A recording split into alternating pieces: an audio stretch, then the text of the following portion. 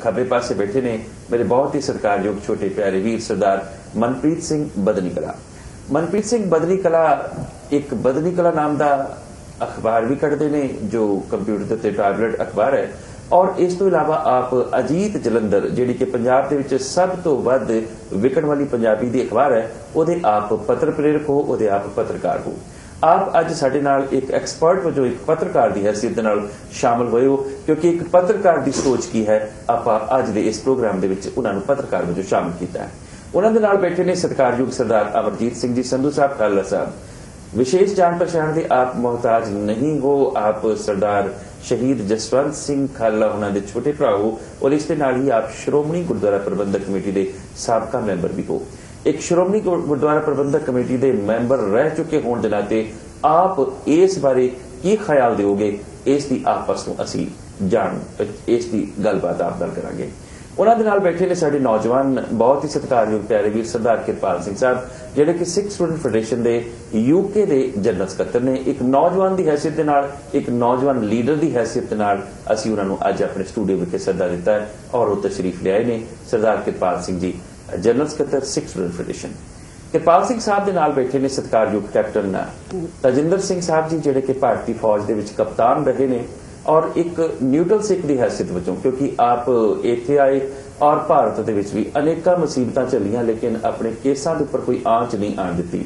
ਕੇਸਾਂ ਦੀ ਵਕਤ ਵੈਲਿਊ ਆਪ ਬਿਹਤਰ ਸਮਝਦੇ ਹੋ, ਇਸ ਕਰਕੇ ਕਿਉਂਕਿ ਮਸਲਾ ਸਹਿਜਧਾਰੀ ਸਿੱਖ ਦਾ ਹੈ ਇਸ ਮਸਲੇ ਦੇ ਲਈ ਆਪ ਪਾਸੋਂ ਵੀ ਆਪਾਂ ਵਿਚਾਰ ਜਾਣਾਂਗੇ। ਕੈਪਟਨ ਤਜਿੰਦਰ ਸਿੰਘ ਸਾਹਿਬ ਜੀ ਨੂੰ ਆਪਾਂ ਵਿਸ਼ੇਸ਼ ਔਰ ਖਾਸ ਸੱਦਾ ਦਿੱਤਾ। ਸਾਡੇ ਇਸ ਸੱਦੇ ਦੇ ਉੱਤੇ ਸਾਡੇ ਮਹਿਮਾਨ ਸਾਡੇ ਪਾਸ ਚੱਲ ਕੇ ਆਏ ਨੇ। ਮੈਂ ਦੂਰੋਂ ਨੇੜੋਂ ਨਹੀਂ ਕਹਾਂਗਾ, ਮੈਂ ਕਹਾਂਗਾ ਕਿ ਦੂਰੋਂ ਦੂਰੋਂ ਆਪ ਚੱਲ ਕੇ ਆਏ ਔਰ ਆਪ ਜੀ ਦਾ ਚੱਲ ਕੇ ਆਉਣ ਦਾ ਮੈਂ ਨਿੱਘਾ ਸਵਾਗਤ ਕਰਦਾ। ਹਾਂ ਆਪ ਜੀ ਨੂੰ ਮੈਂ ਜੀਉ ਆਇਆਂ ਨੂੰ ਕਹਿਣਾ ਔਰ ਆਪ ਜੀ ਦਾ ਧੰਨਵਾਦ ਕਰਦਾ ਹਾਂ ਕਿਉਂਕਿ ਇਸ ਠੰਡੀ ਸ਼ਾਮ ਦੇ ਵਿੱਚ ਜਿਸ ਵਕਤ ਲੋਕ ਰਜਾਈਆਂ ਦਾ ਲਿਗ ਮਾਣ ਰਹੇ ਹੁੰਦੇ ਨੇ ਉਸ ਵਕਤ ਆਪ ਸਾਡੇ ਪੈਗਾਮ ਉੱਪਰ ਸਾਡੇ ਸੱਦੇ ਉੱਪਰ ਤਸ਼ਰੀਫ ਲੈ ਆਏ ਸਾਡੇ ਆਹੋਪਾਰ ਬਹੁਤ ਬਹੁਤ ਧੰਨਵਾਦ ਮੈਂ ਆਪਣੇ ਚਾਰਾਂ ਹੀ ਸਤਿਕਾਰਯੋਗ ਵੀਰਾਂ ਨੂੰ ਸਤਿਗੁਰਾਂ ਦੀ ਬਖਸ਼ੀ ਹੋਈ ਫਤਿਹ ਅਰਜ਼ ਕਰਦਾ ਹਾਂ ਵਾਹਿਗੁਰੂ ਜੀ ਕਾ ਖਾਲਸਾ ਵਾਹਿਗੁਰੂ ਜੀ ਕੀ ਫਤਿਹ ਆਪ ਸਭਨਾਂ ਦਾ ਮੈਂ ਸਵਾਗਤ ਕਰਦਾ ਹਾਂ ਇਸ ਤੋਂ ਪਹਿਲਾਂ ਕਿ ਆਪਾਂ ਅੱਜ ਦਾ ਪ੍ਰੋਗਰਾਮ ਸ਼ੁਰੂ ਕਰੀਏ ਮੈਂ ਚਾਹਾਂਗਾ ਕਿ ਆਪਾਂ ਉਹ ਕਲਿੱਪ ਦੇਖ ਲਈਏ ਅਹ ਜਿਸ ਕਲਿੱਪ ਦੇ ਵਿੱਚ ਜਨਰਲ ਲੋਕਾਂ ਦੀ رائے ਕੀ ਹੈ ਔਰ ਜਿਹੜੇ ਲੀਡਰ ਤਬਕਾ ਹੈ, ਉਹ ਇਸ ਬਾਰੇ ਕੀ ਸੋਚਦੇ ਨੇ? ਤਾਂ ਮੈਂ ਚਾਹਾਂਗਾ ਕਿ ਉਹ ਕਲਿੱਪ ਜਿਹੜੀ ਹੈ, ਉਹ ਸਾਨੂੰ ਯਾਨੀ ਕਿ ਸਾਡੇ ਵਿਊਅਰਸ ਨੂੰ ਸਭ ਤੋਂ ਪਹਿਲਾਂ ਦਿਖਾਈ ਜਾਵੇ ਔਰ ਉਸ ਕਲਿੱਪ ਤੋਂ ਬਾਅਦ ਆਪਾਂ ਆਪ ਜੀ ਦੇ ਨਾਲ ਔਰ ਆਪਣੇ ਮਹਿਮਾਨਾਂ ਦੇ ਨਾਲ ਗੱਲਬਾਤ ਕਰਾਂਗੇ। ਬਹੁਤ ਬਹੁਤ ਧੰਨਵਾਦ, ਬਹੁਤ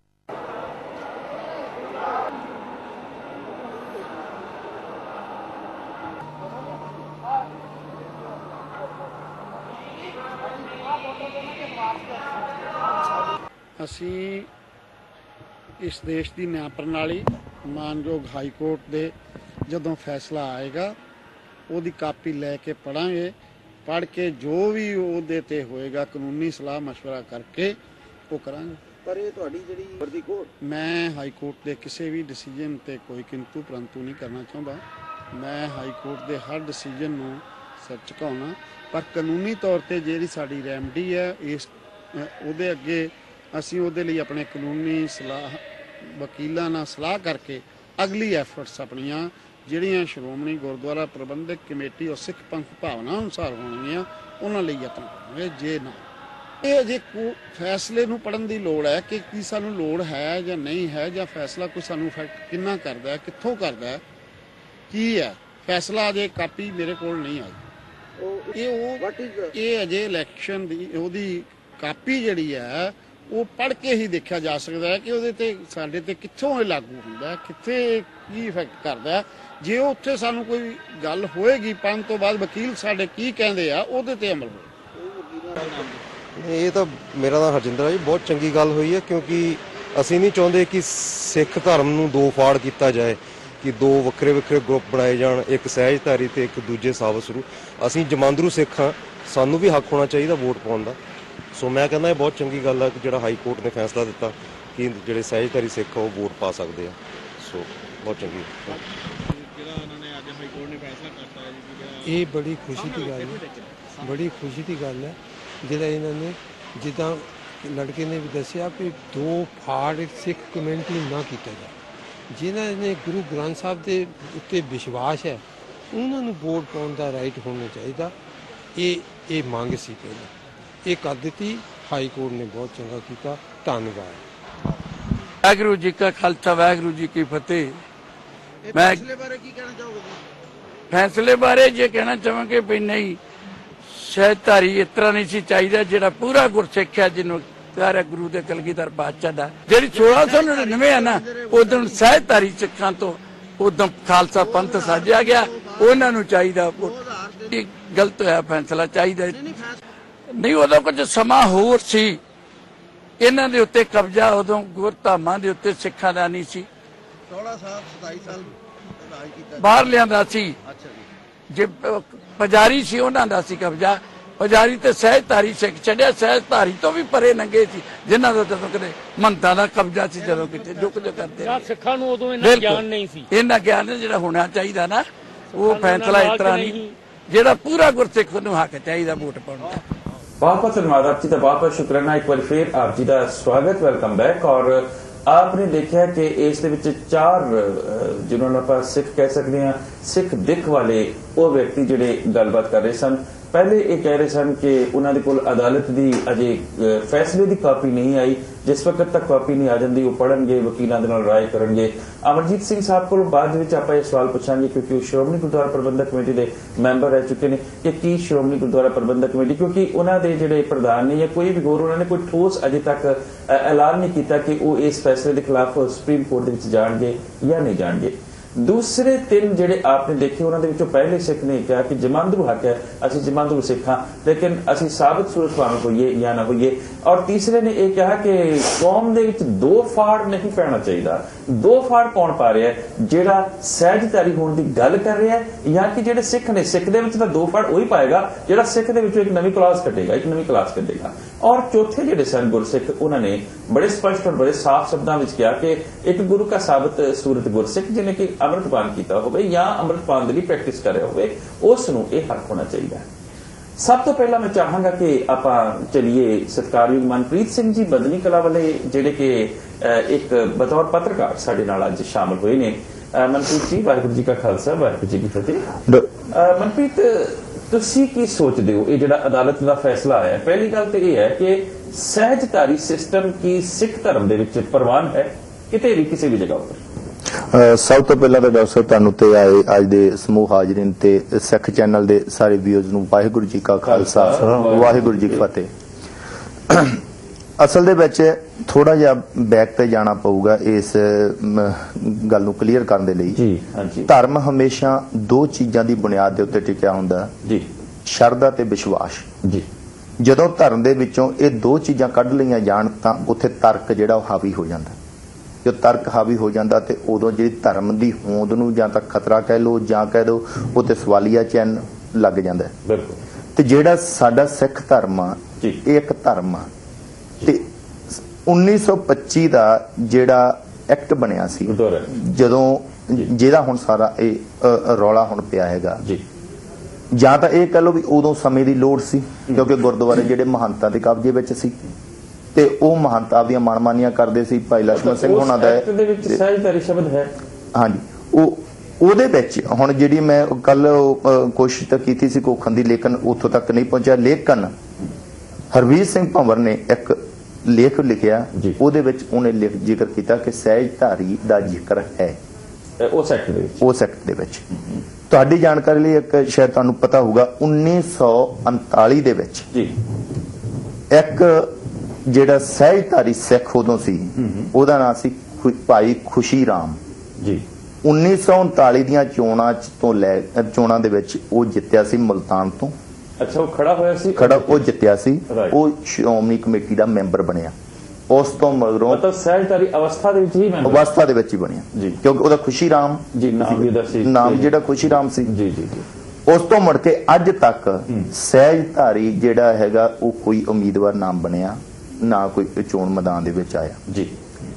ਇਹਦੀ ਜਿਹੜੀ ਇੱਕ ਹੋਰ ਭੂਮਿਕਾ ਜਿਹੜੀ ਪਿੱਛੇ ਜਿਹੜੀ ਇਹਦਾ ਨੋਟੀਫਿਕੇਸ਼ਨ ਜਿਹੜਾ ਹੁਣ ਇਹ ਜਾਰੀ ਹੋਇਆ। ਜੀ। ਉਸੇ ਤਰ੍ਹਾਂ ਦਾ ਨੋਟੀਫਿਕੇਸ਼ਨ ਜਿਹੜਾ ਪਹਿਲਾਂ ਹੋਇਆ ਸੀ ਜਦੋਂ 30% ਜਿਹੜੀਆਂ ਬੀਬੀਆਂ ਦੇ ਲਈ ਜਿਹੜਾ ਰਾਖਵਾਂਕਰਨ ਕੀਤਾ ਸੀ ਜੀ। ਉਦੋਂ ਵੀ ਇਹੀ ਤਰੀਕਾ ਅਪਣਾਇਆ ਗਿਆ ਸੀ। ਤੇ ਇਹਦਾ ਮਤਲਬ ਜਾਂ ਤਾਂ ਫਿਰ ਉਸ ਉਸ ਨੂੰ ਵੀ ਰੱਦ ਕਰੋ। ਪਰ ਉੱਥੇ ਕਹਿੰਦੇ ਵੀ ਉਸ ਚੀਜ਼ ਨੂੰ ਕਿਸੇ ਨੇ ਚੈਲੰਜ ਨਹੀਂ ਕੀਤਾ। ਜੇ ਉਹ ਚੈਲੰਜ ਕਰਦੇ ਤਾਂ ਹੋ ਸਕਦਾ ਉਹ ਵੀ ਰੱਦ ਹੋ ਜਾਂਦਾ। ਮਤਲਬ ਰਾਖਵਾਂਪਨ ਨਹੀਂ ਹੋਣਾ ਚਾਹੀਦਾ ਸੀ। ਨਹੀਂ। ਹੋਇਆ ਚੰਗੀ ਗੱਲ ਹੈ ਬੀਬੀਆਂ ਬਰਾਬਰ ਦਾ ਹੱਕ ਰੱਖਦੀਆਂ। ਜੀ। ਲੇਕਿਨ ਉਹ ਪ੍ਰਕਿਰਿਆ ਦੀ ਗੱਲ ਕਰਦੇ ਆ। ਜਿਸ ਪ੍ਰਕਿਰਿਆ ਦੇ ਉੱਤੇ ਹੁਣ ਹਾਈ ਕੋਰਟ ਨੇ ਜਿਹੜਾ ਫੈਸਲਾ ਦਿੱਤਾ ਉਹ ਕਹਿੰਦੇ ਇਹ ਨਹੀਂ ਕਿਹਾ ਵੀ ਸਹਿਜਧਾਰੀ ਨੂੰ ਵੋਟਾਂ ਹੱਕ ਆ ਜਾਂ ਨਹੀਂ ਆ। ਉਹਨੇ ਪ੍ਰਕਿਰਿਆ ਦੇ ਉੱਤੇ ਜਿਹੜਾ ਹੈਗਾ ਉਹ ਸਵਾਲ ਉਠਾਇਆ ਹੁਣ ਹਾਈ ਕੋਰਟ ਨੇ। ਵੀ ਜਿਹੜੀ ਇਹ ਪ੍ਰਕਿਰਿਆ ਸੀ ਜਿਹੜਾ ਇਹ ਤਰੀਕਾ ਸੀ ਉਹ ਤਰੀਕਾ ਗਲਤ ਸੀ ਨੋਟੀਫਿਕੇਸ਼ਨ ਦਾ। ਮਤਲਬ ਉਹ ਜਾਰੀ ਨਹੀਂ ਹੋ ਸਕਦਾ ਸੀ। ਇਹਦੇ ਵਿੱਚ ਗੁਰਦੁਆਰਾ ਐਕਟ ਦੇ ਵਿੱਚ ਸੋਧ ਕਰਨੀ ਚਾਹੀਦੀ ਸੀ। ਉਹ ਨਹੀਂ ਕੀਤੀ ਉਹ ਨਹੀਂ ਕੀਤੀ ਗਈ। ਪਰ ਕਸੂਰ ਕਿਹਦਾ?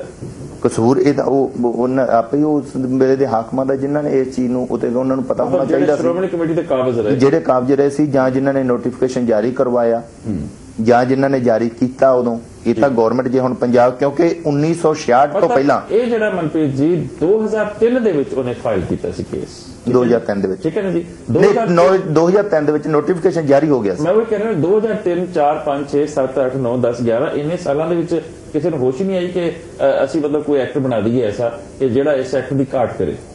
ਹਾਂ, ਬਿਲਕੁਲ ਉੱਥੇ ਹੀ ਇਸ ਇਹੀ ਚੀਜ਼ ਹੈ ਜਿਹੜਾ ਹੁਣ ਉਹ ਜਿਹੜਾ ਖਮਿਆਜਾ ਭੁਗਤਣ ਲੱਗੇ ਹੈਗੇ ਇਸ ਚੀਜ਼ ਦਾ ਇਹਦਾ ਖਮਿਆਜਾ ਕੀ ਹੋ ਸਕਦਾ? ਕੀ ਰਿਜ਼ਲਟ ਹੋ ਸਕਦਾ? ਖਮਿਆਜਾ ਹੁਣ ਜਿਹੜੀ ਹੁਣ ਸਵਾਲ ਇੱਕ ਨਵੇਂ ਤੇ ਨਵੇਂ ਖੜੇ ਹੋ ਗਏ। ਜਿਵੇਂ ਤੁਸੀਂ ਹੁਣ ਕਲਿੱਪ ਦੇਖੇ ਹੈਗੇ ਉਹ ਕਲਿੱਪਾਂ ਦੇ ਵਿੱਚ ਵੀ ਕਹਿੰਦੇ ਆ ਵੀ ਅਸੀਂ ਜਮਾਂਦਰੂ ਸਿੱਖ ਤੇ ਸਾਡਾ ਹੱਕ ਬਣਦਾ। ਫਿਰ ਭਾਵੇਂ ਭਾਵੇਂ ਉਹ- ਦਾੜੀ ਕੇਸ ਕੱਟੀ ਹੈ ਭਾਵੇਂ ਨਹੀਂ ਕੱਟੀ। ਜੇ ਹੁਣ ਇਹਦੇ ਵਿੱਚ ਸਿਰਫ ਇੱਕ ਇੱਕ ਇੱਕ ਪ੍ਰੋਬਲਮ ਇੱਕ ਪ੍ਰੋਬਲਮ ਖੜੀ ਹੋਵੇਗੀ। ਇਸ ਚੀਜ਼ ਦੇ ਨਾਲ। ਅੱਜ ਜਿਵੇਂ ਆ ਖੁਸ਼ੀ ਰਾਮ ਦਾ ਜਿਹੜਾ ਮੈਂ ਇਤਿਹਾਸ ਪੜਿਆ ਸੀ ਵੀ ਖੁਸ਼ੀ ਰਾਮ ਜੀ ਉਦੋਂ ਬਣੇ ਸੀਗੇ।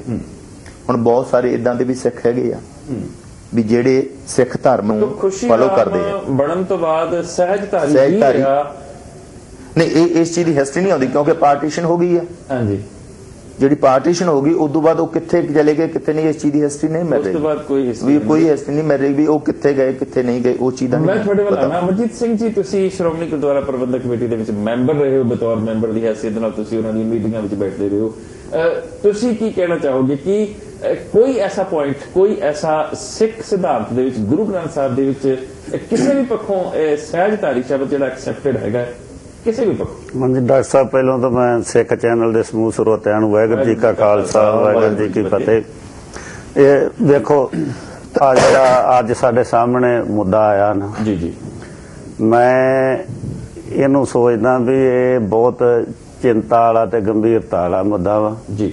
ਇਹਨੂੰ ਪਰ ਇਹ ਅਮਰਜੀਤ ਜੀ ਅੱਜ ਨਹੀਂ ਨਾ ਸਾਹਮਣੇ ਆਇਆ। ਇਹ ਤਾਂ 2000 ਜੇ ਜੇ ਗੱਲ ਕੀਤੀ ਹੈ ਮਨਪ੍ਰੀਤ ਹੋਰਾਂ ਨੇ ਪਾਰਟੀਸ਼ਨ ਤੋਂ ਵੀ ਪਹਿਲਾਂ ਦੀ ਖੁਸ਼ੀ ਰਾਮ ਨਾਮ ਦਾ ਇੱਕ ਬੰਦਾ ਆਲਰੇਡੀ ਬਣ ਚੁੱਕਿਆ ਨਹੀਂ ਇਹ ਦੇਖੋ ਜਦੋਂ 1925 ਦੇ ਵਿੱਚ ਗੁਰਦੁਆਰਾ ਐਕਟ ਬਣਿਆ ਨਾ ਜੀ। ਉਹਦੇ ਵਿੱਚ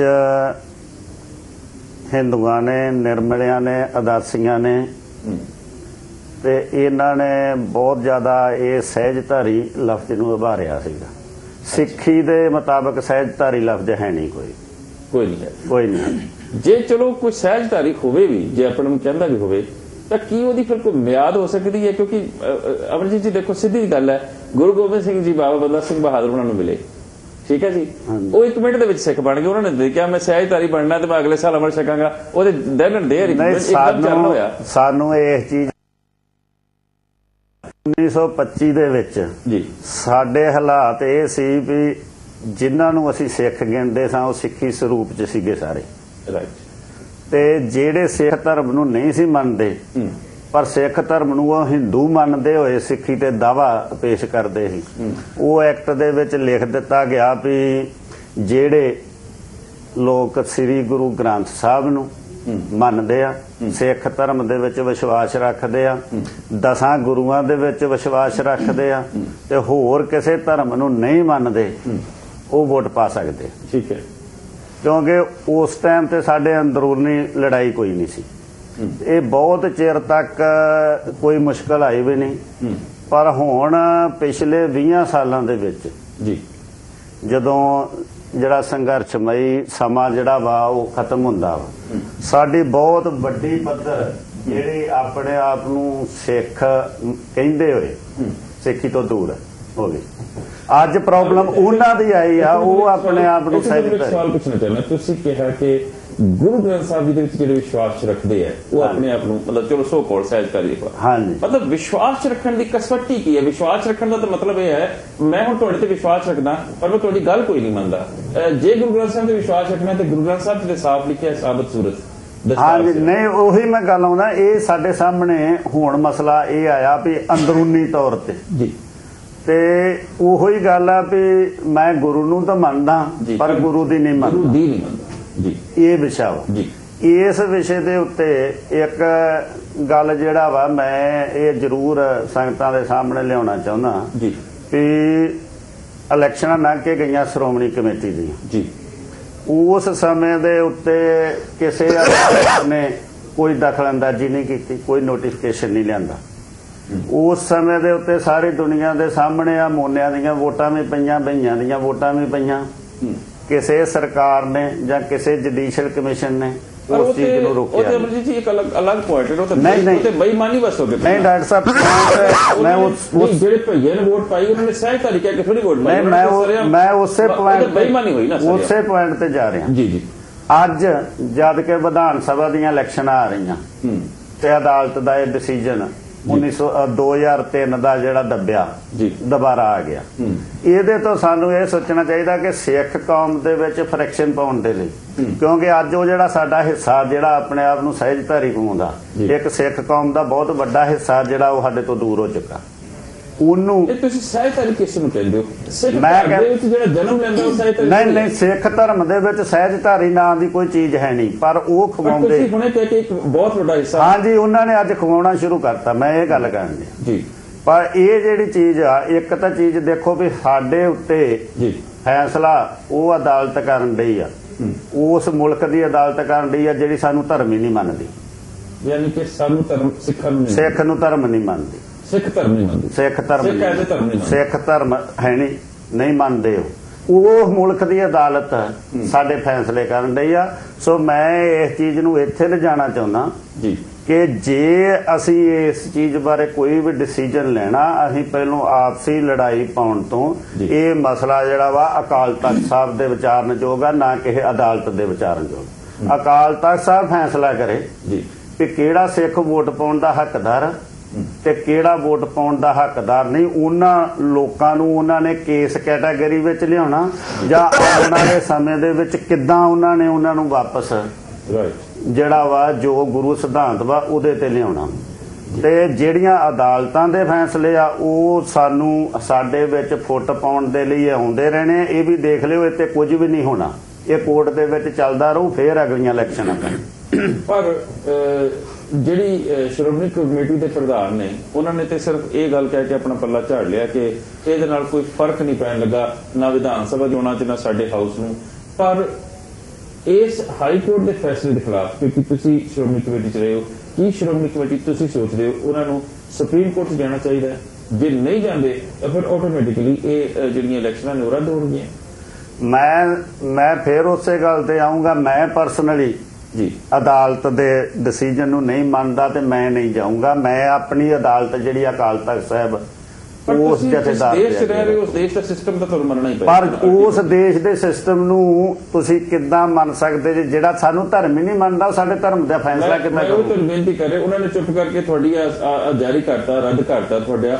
ਇਸ ਬਿਹਾਫ ਦੇ ਉੱਤੇ ਇਸ ਬੇਸ ਦੇ ਉੱਤੇ ਜਿਹੜੇ ਪਰਮਜੀਤ ਸਿੰਘ ਰਾਣੂ ਸਾਹਿਬ ਉਹਨਾਂ ਨੇ ਗੁਰਦੁਆਰਾ ਜੁਡੀਸ਼ੀਅਲ ਕਮਿਸ਼ਨ ਨੂੰ ਕਿਹਾ ਕਿ ਹੁਣ ਕਿਉਂਕਿ ਸਹਿਜਧਾਰੀ ਸਿੱਖ ਨੂੰ ਵੋਟ ਪਾਉਣ ਦਾ ਹੱਕ ਮਿਲ ਗਿਆ ਇਸ ਕਰਕੇ ਜਿਹੜੀਆਂ ਸਹਿਜਧਾਰੀ ਵੋਟਾਂ ਚੋਣਾਂ ਜਿਹੜੀਆਂ ਉਹ ਰੱਦ ਹੋਣੀਆਂ ਚਾਹੀਦੀਆਂ। ਉਹ ਚੋਣ- ਤੁਸੀਂ ਤੁਸੀਂ ਕਹਿੰਦੇ ਤੁਸੀਂ ਅਦਾਲਤ ਉਹ ਨਹੀਂ ਹੋਣਗੀਆਂ ਰੱਦ। ਨਹੀਂ ਹੋਣਗੇ ਨਹੀਂ ਪਰ ਜੇ 1% ਹੀ ਹੋ ਜਾਂਦੀਆਂ ਨੇ ਨਾ- ਤਾਂ ਕੀ ਤੁਸੀਂ ਕਹਿੰਦੇ ਮੈਂ ਨਹੀਂ ਮੰਨਦਾ। ਨਾ- ਅਲਟੀਮੇਟਲੀ ਤੁਹਾਨੂੰ ਮੰਨਣਾ ਨਾ ਨਾ ਜਿਨ੍ਹਾਂ ਨੂੰ ਤੁਸੀਂ ਕਹਿੰਦੇ ਜੇ ਨਾ ਉਹਨਾਂ ਨੇ ਵਿਧਾਨ ਸਭਾ ਦੀਆਂ ਇਲੈਕਸ਼ਨਾਂ ਤੱਕ ਕੋਰਟ ਦੇ ਵਿੱਚ ਇਹਨੂੰ ਚੈਲੰਜ ਹੀ ਕਰਨਾ।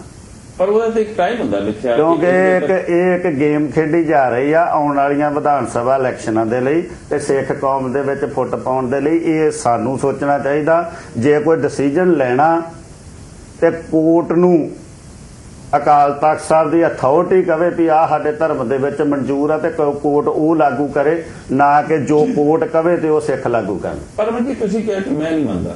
ਤੁਹਾਡੇ ਮੰਨਣ ਜਾਂ ਨਾ ਮੰਨਣ ਨਾਲ ਕੀ ਹੋ ਜਾਏਗਾ ਜਦ ਕਿ ਉਹ ਤੁਹਾਡੇ ਤੇ ਹਰ ਕਾਨੂੰਨ ਲਾਗੂ ਕਰ ਰਹੇ ਥੋਪ ਰਹੇ ਪਰ ਉਹਦੇ ਹਾਂ ਉਹੋ ਹੀ ਮੈਂ ਕਹਿੰਦਾ ਉਸ ਚੀਜ਼ ਨੂੰ ਸਾਨੂੰ ਵਿਚਾਰਨਾ ਪਊਗਾ ਵੀ ਕੀ ਅਸੀਂ ਅਕਾਲ ਤਖਤ ਦੀ ਅਥਾਰਟੀ ਨੂੰ ਮਨਾਉਂਦਿਆਂ ਆ ਫੈਸਲੇ ਆਪ ਕਰਨੇ ਆ ਜਾਂ ਉਹਨਾਂ ਲੋਕਾਂ ਦੇ ਥਰੂ ਕਰਾਉਣੇ ਆ ਜਿਹੜੇ ਸਾਨੂੰ ਧਰਮ ਹੀ ਨਹੀਂ ਮੰਨਦੇ. ਸਾਡੇ ਨਾਲ ਸਾਡੇ ਇੱਕ ਬਹੁਤ ਹੀ ਨੌਜਵਾਨ, ਜਿਹੜੇ ਕਿ 6 ਫੈਡਰੇਸ਼ਨ ਦੇ ਜਨਰਲ ਸਕੱਤਰ ਨੇ, ਅਮਰਜੀਤ ਸਿੰਘ ਸਾਹਿਬ ਦੀ ਵੀ ਆਪਨੇ ਗੱਲ ਸੁਣੀ, ਮਨਪ੍ਰੀਤ ਸਿੰਘ ਸਾਹਿਬ ਦੀ ਵੀ ਆਪਨੇ ਗੱਲ ਸੁਣੀ। ਥੋੜੇ ਦਿਨ ਬਾਅਦ ਆਪ ਜੀ ਦੇ ਲਈ ਕਾਲਸ ਵੀ ਖੋਲ ਰਹੇ ਹਾਂ। ਆਪ ਸਾਰੇ ਦੀ ਗੱਲਾਂ ਸੁਣਦੇ, ਕਿਉਂਕਿ ਆਪਾਂ ਸਾਰੇ ਵੱਲ ਦੁਬਾਰਾ ਵੀ ਆਉਣਾ ਹੈ।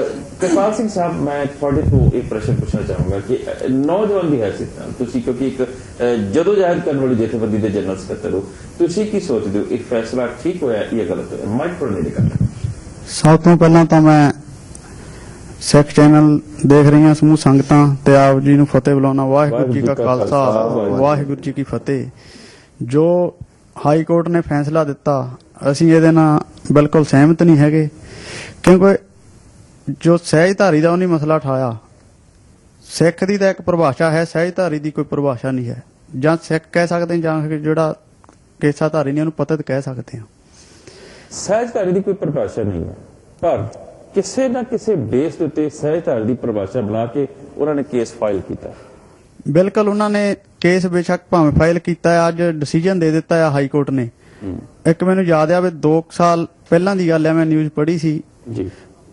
ਅੰਮ੍ਰਿਤਸਰ ਮੈਡੀਕਲ ਕਾਲਜ ਦੇ ਵਿੱਚ ਐਮਬੀਬੀਐਸ ਦੇ ਵਿੱਚ ਇੱਕ ਸਿੱਖ ਬੀਬੀ ਨੇ ਦਾਖਲਾ ਲੈਣਾ ਸੀ ਤੇ ਉਹਨੂੰ ਦਾਖਲਾ ਨਹੀਂ ਦਿੱਤਾ ਗਿਆ। ਹਾਂਜੀ। ਹਾਂਜੀ। ਉਹਦੇ ਵੱਲੋਂ ਹਾਈ ਕੋਰਟ ਦੇ ਵਿੱਚ ਇੱਕ ਪਟੀਸ਼ਨ ਦਾਇਰ ਕੀਤੀ ਗਈ ਸੀ। ਜਿਹਦੇ ਵਿੱਚ ਉਹਨੂੰ ਉਹ ਕੇਸ ਹਾਰਨਾ ਪਿਆ ਉਸੇ ਹਾਈ ਕੋਰਟ ਦੇ ਵਿੱਚ ਹਾਰਨਾ ਪਿਆ ਜਿਸ ਨੇ ਅੱਜ ਇਹ ਫੈਸਲਾ ਦਿੱਤਾ ਕਿ ਉਹਨੇ ਭਰਵੱਟੇ ਕੱਟੇ ਹੋਣ ਕਰਕੇ। ਕਿਉਂਕਿ ਉਹ ਸਿਰਫ ਗੁਰਸਿੱਖਾਂ ਨੂੰ ਹੀ ਉੱਥੇ ਦਾਖਲਾ ਮਿਲਣਾ ਸੀ। ਤੇ ਅੱਜ ਫਿਰ ਦੋਹਰੇ ਕਾਨੂੰਨ ਅਪਣਾਏ ਜਾ ਰਹੇ ਆ ਤੇ ਸਹਿਜਧਾਰੀਆਂ ਨੂੰ ਉਹਨਾਂ ਨੇ ਹੱਕ ਦਿੱਤਾ। ਬਿਲਕੁਲ ਇਹ ਗਲਤ ਆ। ਸਿੱਖ ਭਾਵਨਾਵਾਂ ਨੂੰ ਇਹ ਠੇਸ ਪਹੁੰਚੀ ਆ। ਨੌਜਵਾਨ ਜਥੇਬੰਦੀ ਦੇ ਆਗੂ ਹੋਣ ਦੇ ਨਾਤੇ ਤੁਸੀਂ ਕੀ ਸੋਚਦੇ ਹੋ ਕਿ ਅਗਲਾ ਕਦਮ ਕੌਮ ਦੇ ਲਈ ਕੀ ਹੋਣਾ ਚਾਹੀਦਾ? ਜੇ ਤੁਹਾਨੂੰ ਕੌਮ ਨੂੰ ਕੋਈ ਪੈਗਾਮ ਦੇਣਾ ਪਵੇ ਇਸ ਪਾਰਟਿਕੂਲਰ ਇਸ ਮੁੱਦੇ ਪਰ ਤੁਸੀਂ ਕੀ ਚਾਹੋਗੇ ਕਿ ਕੌਮ ਅਗਲਾ ਸਟੈਪ ਕੀ ਲਵੇ? ਕਿਉਂ? ਜਿਹੜੀਆਂ ਅੱਜ ਚੋਣਾਂ ਹੁੰਦੀਆਂ ਚਾਹੇ ਪੰਜਾਬ ਦੇ ਵਿੱਚ ਸ਼੍ਰੋਮਣੀ ਗੁਰਦੁਆਰਾ ਪ੍ਰਬੰਧਕ ਕਮੇਟੀ ਦੀਆਂ ਜਾਂ ਵਿਧਾਨ ਸਭਾ ਤੇ ਲੋਕ ਸਭਾ ਉਹ ਸਾਰੀਆਂ ਸੈਂਟਰ ਸਰਕਾਰ ਦੀਆਂ ਹੋ ਰਹੀਆਂ। ਤੇ ਜੇ ਡਿਸੀਜਨ ਲਿਆ ਹਾਈ ਕੋਰਟ ਨੇ ਕੋਈ ਕਾਨੂੰਨ ਨਹੀਂ ਬਣਾਇਆ ਗਿਆ ਕੋਈ ਕਾਨੂੰਨ ਬਣਾਉਣ ਦੇ ਲਈ ਲੋਕ ਸਭਾ ਦੇ ਵਿੱਚ ਬਿੱਲ ਪੇਸ਼ ਕੀਤਾ ਜਾਂਦਾ ਜੇ ਬਹੁਮਤ ਹੋਵੇ ਤਾਂ ਹੀ ਉਹ ਕਾਨੂੰਨ ਬਣਦਾ ਆ। ਕੋਈ ਕਾਨੂੰਨ ਨਹੀਂ ਬਣਿਆ। ਮੈਂ ਤਾਂ ਜੀ। ਇਸ ਗੱਲ ਨਾਲ ਸਹਿਮਤ ਹਾਂ ਬਈ ਸ਼੍ਰੋਮਣੀ ਕਮੇਟੀ ਨੂੰ ਸਿੱਖ ਵਿਦਵਾਨਾਂ ਨੂੰ ਇਹਦੇ ਨੂੰ ਚੁਣੌਤੀ ਦੇਣ ਦੇ ਲਈ ਆਪਣਾ ਜਿਹੜਾ ਸੁਪਰੀਮ ਕੋਰਟ ਦੇ ਵਿੱਚ ਜਾ ਕੇ ਕੇਸ ਲੜਨਾ ਚਾਹੀਦਾ ਕਿ ਆਉਣ ਵਾਲੇ ਸਮੇਂ ਦੇ ਵਿੱਚ ਮਤਲਬ ਨੈਕਸਟ ਸਟੈਪ ਸੁਪਰੀਮ ਕੋਰਟ 'ਚ ਜਾਣਾ ਚਾਹੀਦਾ। ਬਿਲਕੁਲ ਮੈਂ ਜੇ ਇਹਦੇ ਤੁਸੀਂ ਸੁਪਰੀਮ ਕੋਰਟ 'ਚ ਜਾਂਦੇ ਹੋ ਇਹਦਾ ਮਤਲਬ ਤੁਸੀਂ ਜਿਹੜਾ ਪਹਿਲਾ ਫੈਸਲਾ ਉਹਨੂੰ ਐਕਸੈਪਟ ਕਰ ਲਿਆ। ਇਹੀ ਹੋਏਗਾ ਨਾ ਮਤਲਬ? ਨਹੀਂ ਜੇ ਆਪਾਂ ਉਹਦੇ ਖਿਲਾਫ ਵੀ ਨਹੀਂ ਕੋਈ ਰਿਟ ਕਰਦੇ ਫਿਰ ਵੀ ਤਾਂ ਐਕਸੈਪਟ ਹੋਊਗਾ ਫਿਰ ਤਾਂ ਸਾਡੇ ਤੇ ਥੋਪ ਦਿੱਤਾ ਜਾਊਗਾ ਲਾਗੂ ਹੋ ਜਾਣਾ। ਜਾਏਗਾ ਜਿਹੜਾ ਕਿ ਕੌਮ ਲਈ ਹੋਰ ਘਾਤਕ ਹੋਏ ਫਿਰ ਤਾਂ ਲਾਗੂ ਹੋ ਗਿਆ ਜੇ ਆਪਾਂ ਉਹਨੂੰ ਨਹੀਂ ਚੁਣੌਤੀ ਦਿੰਦੇ। ਜੀ ਆਪਾਂ ਕੈਪਟਨ ਸਾਹਿਬ ਨਾਲ ਗੱਲ ਕਰਦੇ ਹਾਂ। ਕੈਪਟਨ ਤਜਿੰਦਰ ਸਿੰਘ ਸਾਹਿਬ ਜੀ ਕੈਪਟਨ ਸਾਹਿਬ ਫੌਜ ਦੇ ਵਿੱਚ ਕਪਤਾਨ ਰਹੇ ਔਰ ਫੌਜ ਦੀ ਨੌਕਰੀ ਛੱਡ ਕੇ ਇੱਥੇ ਆਏ। ਇੱਕ ਸੱਚੇ ਸੁੱਚੇ ਸਿੱਖ ਹੋਣ ਦੇ ਨਾਤੇ ਅਨੇਕਾਂ ਹੀ ਮੁਸੀਬਤਾਂ ਆਈਆਂ ਪਰ ਉਹਨਾਂ ਦੇ ਕਦੀ ਵੀ ਆਪਣੀ ਬੇਦਬੀ ਜਾਂ ਕੇਸਾਂ ਦੇ ਨਾਲ ਕਦੀ ਕੋਈ ਸਮਝੌਤਾ ਨਹੀਂ ਕੀਤਾ। ਕੈਪਟਨ ਸਾਹਿਬ ਇੱਕ ਨਿਊਟਰਲ ਸਿੱਖ ਦੀ ਹੈਸੀਅਤ ਨਾਲ ਯਾਨੀ ਕਿ ਆਪਾਂ ਇਹ ਵੀ ਦੇਖਣਾ ਹੈ ਕਿ ਇੱਕ ਆਮ ਸਿੱਖ ਕੀ ਸੋਚਦਾ ਹੈ ਇਸ ਫੈਸਲੇ ਬਾਰੇ। ਕੈਪਟਨ ਸਾਹਿਬ ਤੁਸੀਂ ਕੀ ਕਹਿਣਾ ਚਾਹੋਗੇ ਆਪਣੇ ਇਸ ਫੈਸਲੇ ਬਾਰੇ? ਤੁਹਾਡੀ ਕੀ? ਪਹਿਲਾਂ ਜੀ ਮੇਰੀ ਵੱਲੋਂ ਥੋੜਾ ਮਾਈਕ ਸਿੱਖ ਚੈਨਲ ਨੂੰ ਤੇ ਸਾਰੀ ਸੰਗਤ ਨੂੰ ਜੋ ਵੀ ਦੇਖ ਰਹੇ ਆ ਵਾਹਿਗੁਰੂ ਜੀ ਕਾ ਖਾਲਸਾ ਵਾਹਿਗੁਰੂ ਜੀ ਕੀ ਫਤਿਹ। ਮੈਂ ਡਾਕਟਰ ਸਾਹਿਬ ਇਹ ਜੋ ਇਹ ਹਾਈ ਕੋਰਟ ਨੇ ਫੈਸਲਾ ਕੀਤਾ ਹੈ ਜੀ ਜੀ। ਇਹ ਬਹੁਤ ਹੀ ਘਾਤਕ ਹੈ ਸਿੱਖਾਂ ਵਾਸਤੇ। ਇਹ ਸਿੱਧੀ ਘੁਸਪੈਠ ਹੈ। ਇੱਕ ਸਾਡੇ ਕੋਲ ਆਜ਼ਾਦਾਨਾ ਜਿਹੜੀ ਹਸਤੀ ਹੈ ਸ਼੍ਰੋਮਣੀ ਗੁਰਦੁਆਰਾ ਪ੍ਰਬੰਧਕ ਕਮੇਟੀ ਹੈ ਔਰ ਅਕਾਲ ਤਖਤ ਹੈ। ਜੀ। ਅਗਰ ਇਹ ਫੈਸਲਾ ਲਾਗੂ ਹੋ ਜਾਂਦਾ ਹੈ ਕੱਲ ਨੂੰ ਸਹਿਧਾਰੀ ਨੂੰ ਵੋਟ ਦਾ ਹੱਕ ਮਿਲਦਾ ਹੈ ਤੇ ਫਿਰ ਤੇ ਸਾਰੇ ਵੋਟ ਦਾ ਹੱਕ ਮੰਗਣਗੇ। ਸਾਡੇ ਹਿੰਦੂ ਵੀਰ ਆ ਜੇ ਕਹਿੰਦੇ ਜੀ ਜਿਹੜਾ ਗੁਰੂ ਗ੍ਰੰਥ ਸਾਹਿਬ ਨੂੰ ਮੰਨਦਾ ਉਹਨੂੰ ਹੱਕ ਤੇ ਸਿੰਧੀ ਵੀਰ ਹੈ ਸਭ ਤੋਂ ਜ਼ਿਆਦਾ ਮੰਨਦੇ ਨੇ। ਕਿ ਹਿੰਦੂ ਵੀਰ ਹੈ ਉਹ ਗੁਰੂ ਘਰ ਜਾਂਦੇ ਨੇ ਸੇਵਾ ਕਰਦੇ ਨੇ ਬਹੁਤ ਜ਼ਿਆਦਾ ਮੰਨਣ ਦਾ ਤੁਸੀਂ ਕੀ ਮਤਲਬ ਸਮਝਦੇ ਹੋ? ਖਾਲੀ ਮੱਥਾ ਟੇਕ ਦੇਣਾ ਮੰਨਣਾ ਹੁੰਦਾ।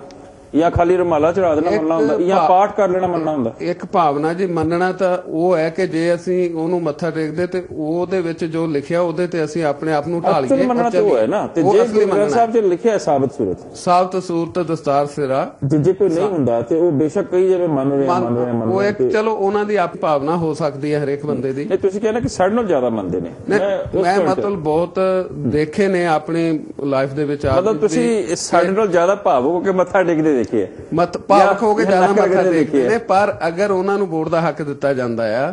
ਤੇ ਇਹ ਇੱਕ ਲੂਪ ਹੋਲ ਰੱਖਿਆ ਜਾ ਰਿਹਾ ਹੈ ਕਿ ਸਿੱਖ ਕੌਮ ਦੇ ਵਿੱਚ ਘੁਸਪੈਠ ਕਿਵੇਂ ਕੀਤੀ ਜਾਵੇ ਜੀ ਅਗਰ ਇਹਨਾਂ ਨੂੰ ਹੱਕ ਦਿੱਤਾ ਜਾਏਗਾ ਤੇ ਇਹਨਾਂ ਨੂੰ ਅਗਰ ਵੋਟ ਪਾਉਣ ਦਾ ਹੱਕ ਹੈ ਤੇ ਮੈਂਬਰ ਖੰਡ ਦਾ ਵੀ ਹੱਕ ਹੋਏਗਾ ਅਗਰ ਮੈਨੂੰ ਵੋਟ ਦਾ ਹੱਕ ਹੈ ਤੇ ਮੈਂ ਉਸ ਜਥੇਬੰਦੀ ਦੇ ਮੈਂਬਰ ਵੀ ਕੱਢ ਸਕਦਾ ਉਹ ਤੇ ਮਨਪ੍ਰੀਤ ਉਹਨਾਂ ਨੇ ਦੱਸਿਆ ਵੀ ਹੈ ਪਹਿਲਾਂ ਕਿ ਆਲਰੇਡੀ ਖੁਸ਼ੀ ਰਾਮ ਨਾਮ ਦੇ ਇੱਕ ਪਰ ਵਿਅਕਤੀ ਉਸ ਚੁਣੇ ਟਾਈਮ ਜਾ ਚੁੱਕੇ ਉਸ ਟਾਈਮ ਦੇ ਵਿੱਚ ਤੇ ਅੱਜ ਦੇ ਵਿੱਚ ਬਹੁਤ ਜ਼ਿਆਦਾ ਫ਼ਰਕ ਪੈ ਚੁੱਕਾ ਹੈ ਜੀ ਜੀ ਜੀ। ਸਿੱਖਾਂ ਦੀਆਂ ਭਾਵਨਾਵਾਂ ਨੂੰ ਅੱਜ ਤੱਕ ਤੁਸੀਂ ਜ਼ਿਆਦਾ ਜਾਣਦੇ ਹੋ ਕਿ ਬਹੁਤ ਜ਼ਿਆਦਾ ਠੇਸ ਪਹੁੰਚਾਈ ਗਈ ਹੈ। ਔਰ ਮੈਂ ਤਾਂ ਇਹ ਕਹਾਂਗਾ ਹਿੰਦੁਸਤਾਨ ਦੀ ਗਵਰਨਮੈਂਟ ਸਿੱਖਾਂ ਦੇ ਸਿੱਧ ਨਹੀਂ ਹੈਗੀ। ਸਿੱਖ ਅੱਜ ਤੱਕ ਇਹਨਾਂ ਤੋਂ ਸਿੱਖ ਮੈਰਿਜ ਐਕਟ ਦੀ ਮੰਗ ਕਰ ਰਹੇ ਉਹ ਇਹਨਾਂ ਨੇ ਅੱਜ ਤੱਕ ਸਾਡੇ ਲਈ ਲਾਗੂ ਨਹੀਂ ਕੀਤਾ। ਅਸੀਂ ਹਿੰਦੂ ਐਕਟ ਮੈਰਿਜ ਐਕਟ ਦੇ ਅਧੀਨ ਹੀ ਸਾਡੀ ਰਜਿਸਟ੍ਰੇਸ਼ਨ ਹੁੰਦੀ ਹੈ। ਜੀ ਤੇ ਅਗਰ ਇਹਨਾਂ ਨੇ ਹੁਣ ਇਹ ਸਿੱਖ ਕੌਮ ਦੇ ਉੱਤੇ ਇੱਕ ਘਾਤਕ ਹਮਲਾ ਆ ਤੇ ਸਾਨੂੰ ਚਾਹੀਦਾ ਹੈ ਕਿ ਜਿਹੜੇ ਸਾਡੇ ਸਿੱਖ ਲੀਡਰ ਨੇ ਜਾਂ ਸ਼੍ਰੋਮਣੀ ਗੁਰਦੁਆਰਾ ਪ੍ਰਬੰਧਕ ਕਮੇਟੀ ਤੇ ਇਸ ਟਾਈਮ ਜੋ ਮੈਂਬਰ ਸਵਾਨ ਨੇ ਪ੍ਰਧਾਨ ਸਵਾਨ ਨੇ ਉਹਨਾਂ ਨੂੰ ਇਹਦੇ ਲਈ ਸੁਪਰੀਮ ਕੋਰਟ 'ਚ ਜਾਣਾ ਚਾਹੀਦਾ ਹੈ। ਕੈਪਟਨ ਸਾਹਿਬ, ਇਸ ਵਕਤ ਕੋਈ ਵੀ ਸਿੱਖ ਲੀਡਰ ਨਹੀਂ ਬੋਲਿਆ। ਇਹਦੇ ਲਈ ਗੱਲ ਸਮਝ ਲੱਗਦੀ ਹੈ ਕਿ ਆ ਰਹੀਆਂ ਵਿਧਾਨ ਸਭਾ ਦੀ ਚੋਣਾਂ ਦੇ ਵਿੱਚ ਉਹ ਸਹਿਜਧਾਰੀਆਂ ਦੀ ਵੋਟ ਲੂਜ਼ ਨਹੀਂ ਕਰਨਾ ਚਾਹੁੰਦੇ। ਪਰ ਕੈਪਟਨ ਅਮਰਿੰਦਰ ਸਿੰਘ ਨੇ ਸਾਫ਼ ਕਿਹਾ ਕਿ ਅਸੀਂ ਇਸ ਫੈਸਲੇ ਦਾ ਸਵਾਗਤ ਕਰਦੇ ਹਾਂ। ਉਹਨਾਂ ਨੇ ਕਿਹਾ ਕਿ ਅਸੀਂ ਸਵਾਗਤ ਕਰਦੇ ਹਾਂ। ਯਾਨੀ ਕਿ ਉਹ ਪੱਤਾ ਖੇਡ ਰਿਹਾ ਕਿ ਸਹਿਜਧਾਰੀ ਦੀ ਵੋਟਾਂ ਮੈਨੂੰ ਇਸ ਤਰ੍ਹਾਂ ਮਿਲ ਜਾਣਗੀਆਂ ਫੈਸਲੇ ਦੇ ਕਿਉਂਕਿ ਉਹਨੂੰ ਪਤਾ ਹੈ ਕਿ ਸਿੱਖਾਂ ਦੀ ਵੋਟਾਂ ਤੇ ਬਿਲਕੁਲ ਹੈ ਹੀ ਨੇ ਜਿਹੜੀ ਜਿਹੜੀਆਂ ਜਿੰਨੀਆਂ ਵੀ ਹੈ ਨੇ। ਪਰ ਬਾਦਲ ਸਾਹਿਬ ਆਪਣੀਆਂ ਵੋਟਾਂ ਸੀਟਾਂ ਜਿਹੜੀਆਂ ਵੋਟਾਂ ਇਸ ਕਰਕੇ ਲੂਜ਼ ਨਹੀਂ ਕਰਨਾ ਚਾਹੁੰਦੇ ਉਹਨਾਂ ਕਿਉਂਕਿ ਕੋਈ ਵੀ ਅਕਾਲੀ ਨਹੀਂ ਬੋਲਿਆ ਇਸ ਫੈਸਲੇ ਦੇ ਲਈ ਆਪ ਇਸ ਗੱਲ ਨਾਲ ਸਹਿਮਤ ਹੋ?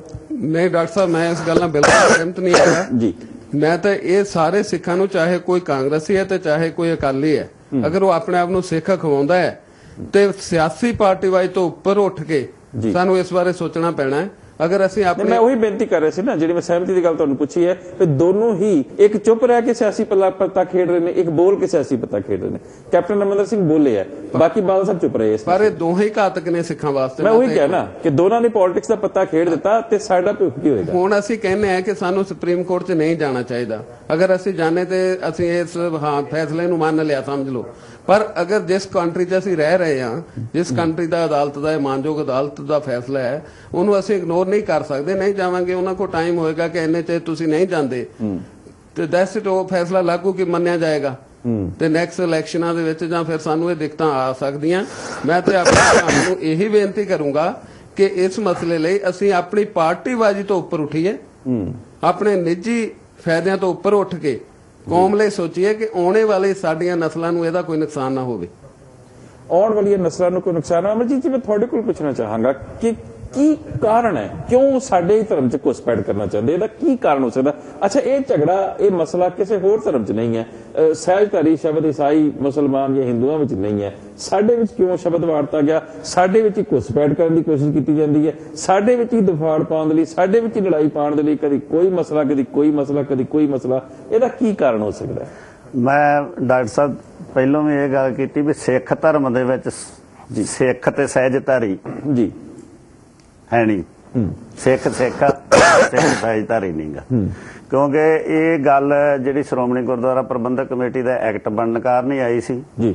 ਕਿ ਜਿਹੜੇ ਲੋਕ ਗੁਰੂ ਦੀ ਬਾਣੀ ਦੀ ਖੱਟੀ ਖਾਂਦੇ ਸੀਗੇ ਪਰ ਗੁਰੂ ਸਿਧਾਂਤ ਨੂੰ ਨਹੀਂ ਸੀ ਮੰਨਦੇ। ਉਹਨਾਂ ਨੂੰ ਕੱਢਣ ਦੇ ਲਈ ਜਾਂ ਉਹਨਾਂ ਨੂੰ ਸਹਿਜਧਾਰੀ ਕਿਹਾ ਗਿਆ ਸੀਗਾ। ਜਿੱਦਾਂ ਨਿਰਮਲੇ ਆ ਦੱਸਗੇ ਜਾਂ ਹਿੰਦੂ ਜਾਂ ਹੋਰ ਸੀਗੇ। ਉਹ ਇੱਕ ਚੀਜ਼ ਉਸ ਟਾਈਮ ਤੇ ਕਲੀਅਰ ਹੋ ਗਈ ਸੀ। ਅੱਜ ਦਾ ਜਿਹੜਾ ਮੁੱਦਾ ਇਹ ਆ ਵੀ ਸਾਨੂੰ ਇਹ ਮੈਂ ਇਹ ਨਹੀਂ ਵੀ ਕਿਸੇ ਕੰਟਰੀ ਦੀ ਅਦਾਲਤ ਜਾਂ ਕਿਸੇ ਕੰਟਰੀ ਦੇ ਵਿਰੁੱਧ ਗੱਲ ਕਰਨਾ ਜੇ ਅਸੀਂ ਅੱਜ ਇੱਥੇ ਰਹਿ ਰਹੇ ਹਾਂ ਇੰਗਲੈਂਡ ਦੇ ਵਿੱਚ ਇੱਥੋਂ ਦੀ ਅਦਾਲਤ ਸਾਰੇ ਫੈਸਲੇ ਸਾਨੂੰ ਮੰਨਣ ਦਾ ਹੱਕ ਆ। ਪਰ ਜਿੱਥੋਂ ਤੱਕ ਮੇਰਾ ਧਰਮ ਆ ਉਸ ਧਰਮ ਦਾ ਫੈਸਲਾ ਮੇਰੇ ਗੁਰੂ ਸਿਧਾਂਤ ਦੇ ਉਲਟ ਜਾ ਕੇ ਕੋਈ ਅਦਾਲਤ ਮੇਰੇ ਤੇ ਠੋਸੇ ਉਹ ਮੈਂ ਮੰਨਣ ਨੂੰ ਤਿਆਰ ਨਹੀਂ। ਜੇ ਤੁਸੀਂ ਮੰਨਣ ਨੂੰ ਤਿਆਰ ਨਹੀਂ ਤਾਂ ਕੀ ਕਰੋਗੇ? ਫੋਰ ਐਗਜ਼ਾਮਪਲ ਕੋਈ ਵੀ ਇੱਕ ਫੈਸਲਾ ਐਸਾ ਹੁੰਦਾ ਜਿਹੜਾ ਤੁਹਾਡੇ ਜਿੱਦਾਂ ਆ ਸਾਡਾ ਦਸਤਾਰ ਦਾ ਮਸਲਾ ਹੈ ਅੱਜ ਕੱਲ ਹਾਂਜੀ। ਇਹ ਸਿੱਧਾ ਸਿੱਧਾ ਸਾਡੇ ਧਰਮ ਦੇ ਉੱਤੇ ਕੀਤਾ ਹੋਇਆ ਫੈਸਲਾ ਹੈ। ਹਾਂਜੀ। ਤੇ ਤੁਸੀਂ ਐਜ਼ ਸਿੱਖ ਕੀ ਕਰੋਗੇ? ਤੇ ਉਹ ਜਿੱਦਾਂ ਦਸਤਾਰ ਦੇ ਮਾਮਲੇ ਦੇ ਵਿੱਚ ਅਸੀਂ ਇੱਥੇ ਇਹਨਾਂ ਨੂੰ ਕਨਵਿੰਸ ਕਰਾ ਰਹੇ ਹਾਂ ਐਜੀਟੇਸ਼ਨ ਕਰਾ ਰਹੇ ਹਾਂ ਮੈਂ ਉਸੇ ਗੱਲ ਤੇ ਜਾ ਰਿਹਾ ਕਿ ਜਾਂ ਤਾਂ ਸਿੱਖ ਅੱਜ ਦੇ ਮੌਜੂਦਾ ਸਮੇਂ ਦੇ ਹਾਲਾਤਾਂ ਨੂੰ ਸਮਝਦੇ ਹੋਏ ਅਕਾਲ ਤਖਤ ਸਾਹਿਬ ਤੇ ਸਿੱਖ ਬੁੱਧੀਵਾਨਾਂ ਦਾ ਉਹ ਨਹੀਂ ਵੀ ਇੱਕ ਦਿਨ ਦੇ ਵਿੱਚ ਦੋ ਦਿਨ ਦੇ ਵਿੱਚ ਇਸ ਚੀਜ਼ ਨੂੰ ਵਿਚਾਰਿਆ ਜਾਵੇ ਵੀ ਅਸੀਂ ਇਹਦਾ ਹੱਲ ਕਿੱਦਾਂ ਕਰਨਾ ਆਉਣ ਵਾਲੇ ਸਮੇਂ ਦੇ ਵਿੱਚ ਕਿਉਂਕਿ ਸਿੱਖ ਕੌਮ ਦੀ ਪ੍ਰੋਬਲਮ ਆ ਨਾ ਕਿ ਕਿਸੇ ਅਦਾਲਤ ਦੀ ਜਾਂ ਬਿਲਕੁਲ ਕਿਸੇ ਬੰਦੇ ਦੀ। ਦਸਤਾਰ ਦਾ ਇੱਕ ਹੋਇਆ ਇਟਲੀ ਦੇ ਵਿੱਚ ਕਈ 에ਅਰਪੋਰਟਸ ਉੱਤੇ ਸਾਡੇ ਪਾਸ ਖਬਰਾਂ ਆ ਰਹੀਆਂ। ਕਿ ਲੋਕ ਦਸਤਾਰ ਉਤਾਰ ਕੇ ਜਾ ਰਹੇ ਮਜਬੂਰੀ ਬਸ ਹੋ ਕੇ ਕਿਉਂਕਿ ਉਹ- ਉਹਨਾਂ ਦਾ ਕਾਨੂੰਨ ਹੈ।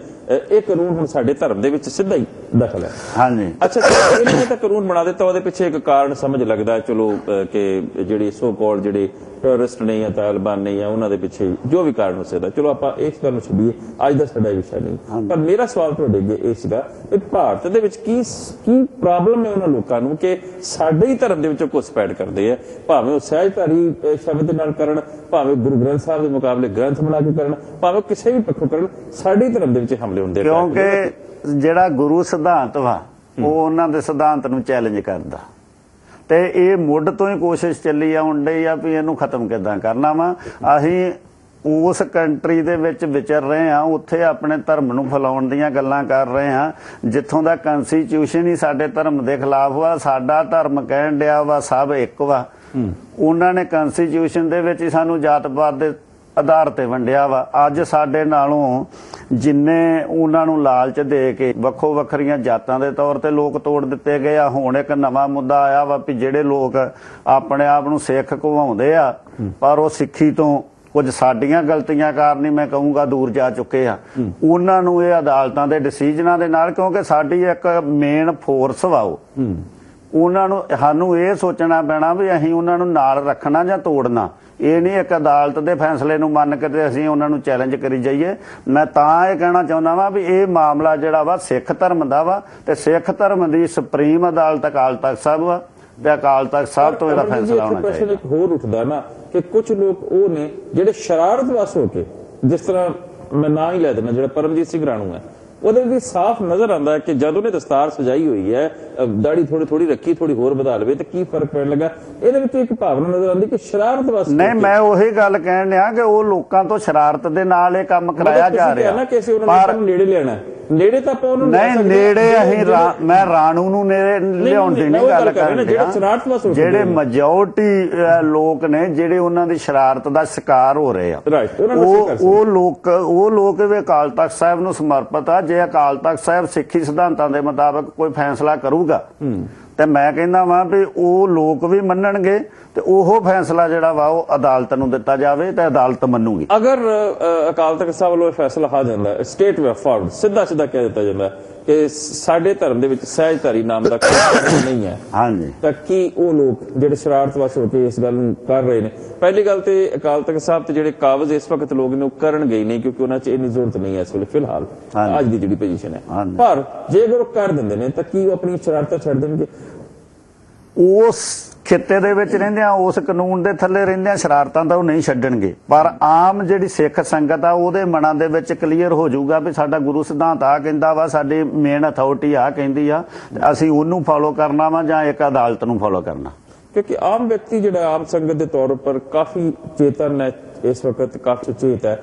ਬਹੁਤ ਅੱਛੀ ਗੱਲ ਕਹੀ ਅਮਰਜੀਤ ਸਿੰਘ ਸਾਹਿਬ ਨੇ ਔਰ ਇਸ ਤੋਂ ਬਾਅਦ ਮੈਂ ਆਪ ਜੀ ਦੇ ਫੋਨ ਕਾਲਸ ਵੀ ਲੈਣਾ ਸ਼ੁਰੂ ਕਰ ਰਿਹਾ ਅ, ਆਪ ਸਾਨੂੰ ਫੋਨ ਕਾਲ ਮਿਲਾ ਸਕਦੇ ਹੋ ਆਪ ਇਸ ਬਹਿਸ ਦੇ ਵਿੱਚ ਡਿਸਕਸ਼ਨ ਦੇ ਵਿੱਚ ਸ਼ਾਮਲ ਹੋ ਸਕਦੇ ਹੋ ਆਪਨੇ ਸਾਰੇ ਦੀ ਗੱਲਾਂ ਸੁਣ ਲਈਆਂ ਮਨਪ੍ਰੀਤ ਮੈਂ ਤੁਹਾਡੇ ਵੱਲ ਆਣਾ ਚਾਹੁੰਦਾ ਇੱਕ ਪੱਤਰਕਾਰ ਦੀ ਹੈਸੀਅਤ ਦੇ ਨਾਲ ਤੁਸੀਂ ਇਸ ਬਾਰੇ ਬਹੁਤ ਕੁਝ ਪੜਿਆ ਬਹੁਤ ਕੁਝ ਲਿਖਿਆ ਇੱਕ ਸਿੱਖ ਘਰ ਦੇ ਵਿੱਚ ਬੱਚਾ ਜਨਮਦਾ ਹੈ ਜਿਵੇਂ ਕਿ ਪਹਿਲੇ ਵਿਅਕਤੀ ਨੇ ਕਿਹਾ ਕਿ ਅਸੀਂ ਜਮਾਂਦਰੂ ਸਿੱਖਾਂ ਸਾਨੂੰ ਵੋਟ ਪਾਉਣ ਦਾ ਹੱਕ ਹੋਣਾ ਚਾਹੀਦਾ ਹੈ ਉਹਨੇ ਸਿਰਫ ਇਹੀ ਦਾਵਾ ਕੀਤਾ ਕਿ ਅਸੀਂ ਜਮਾਂਦਰੂ ਯਾਨੀ ਕਿ ਸਿੱਖ ਦੇ ਘਰ ਕੋਈ ਜਨਮ ਕੇ ਜਨਮ ਲੈ ਕੇ ਸਿੱਖ ਹੋ ਸਕਦਾ।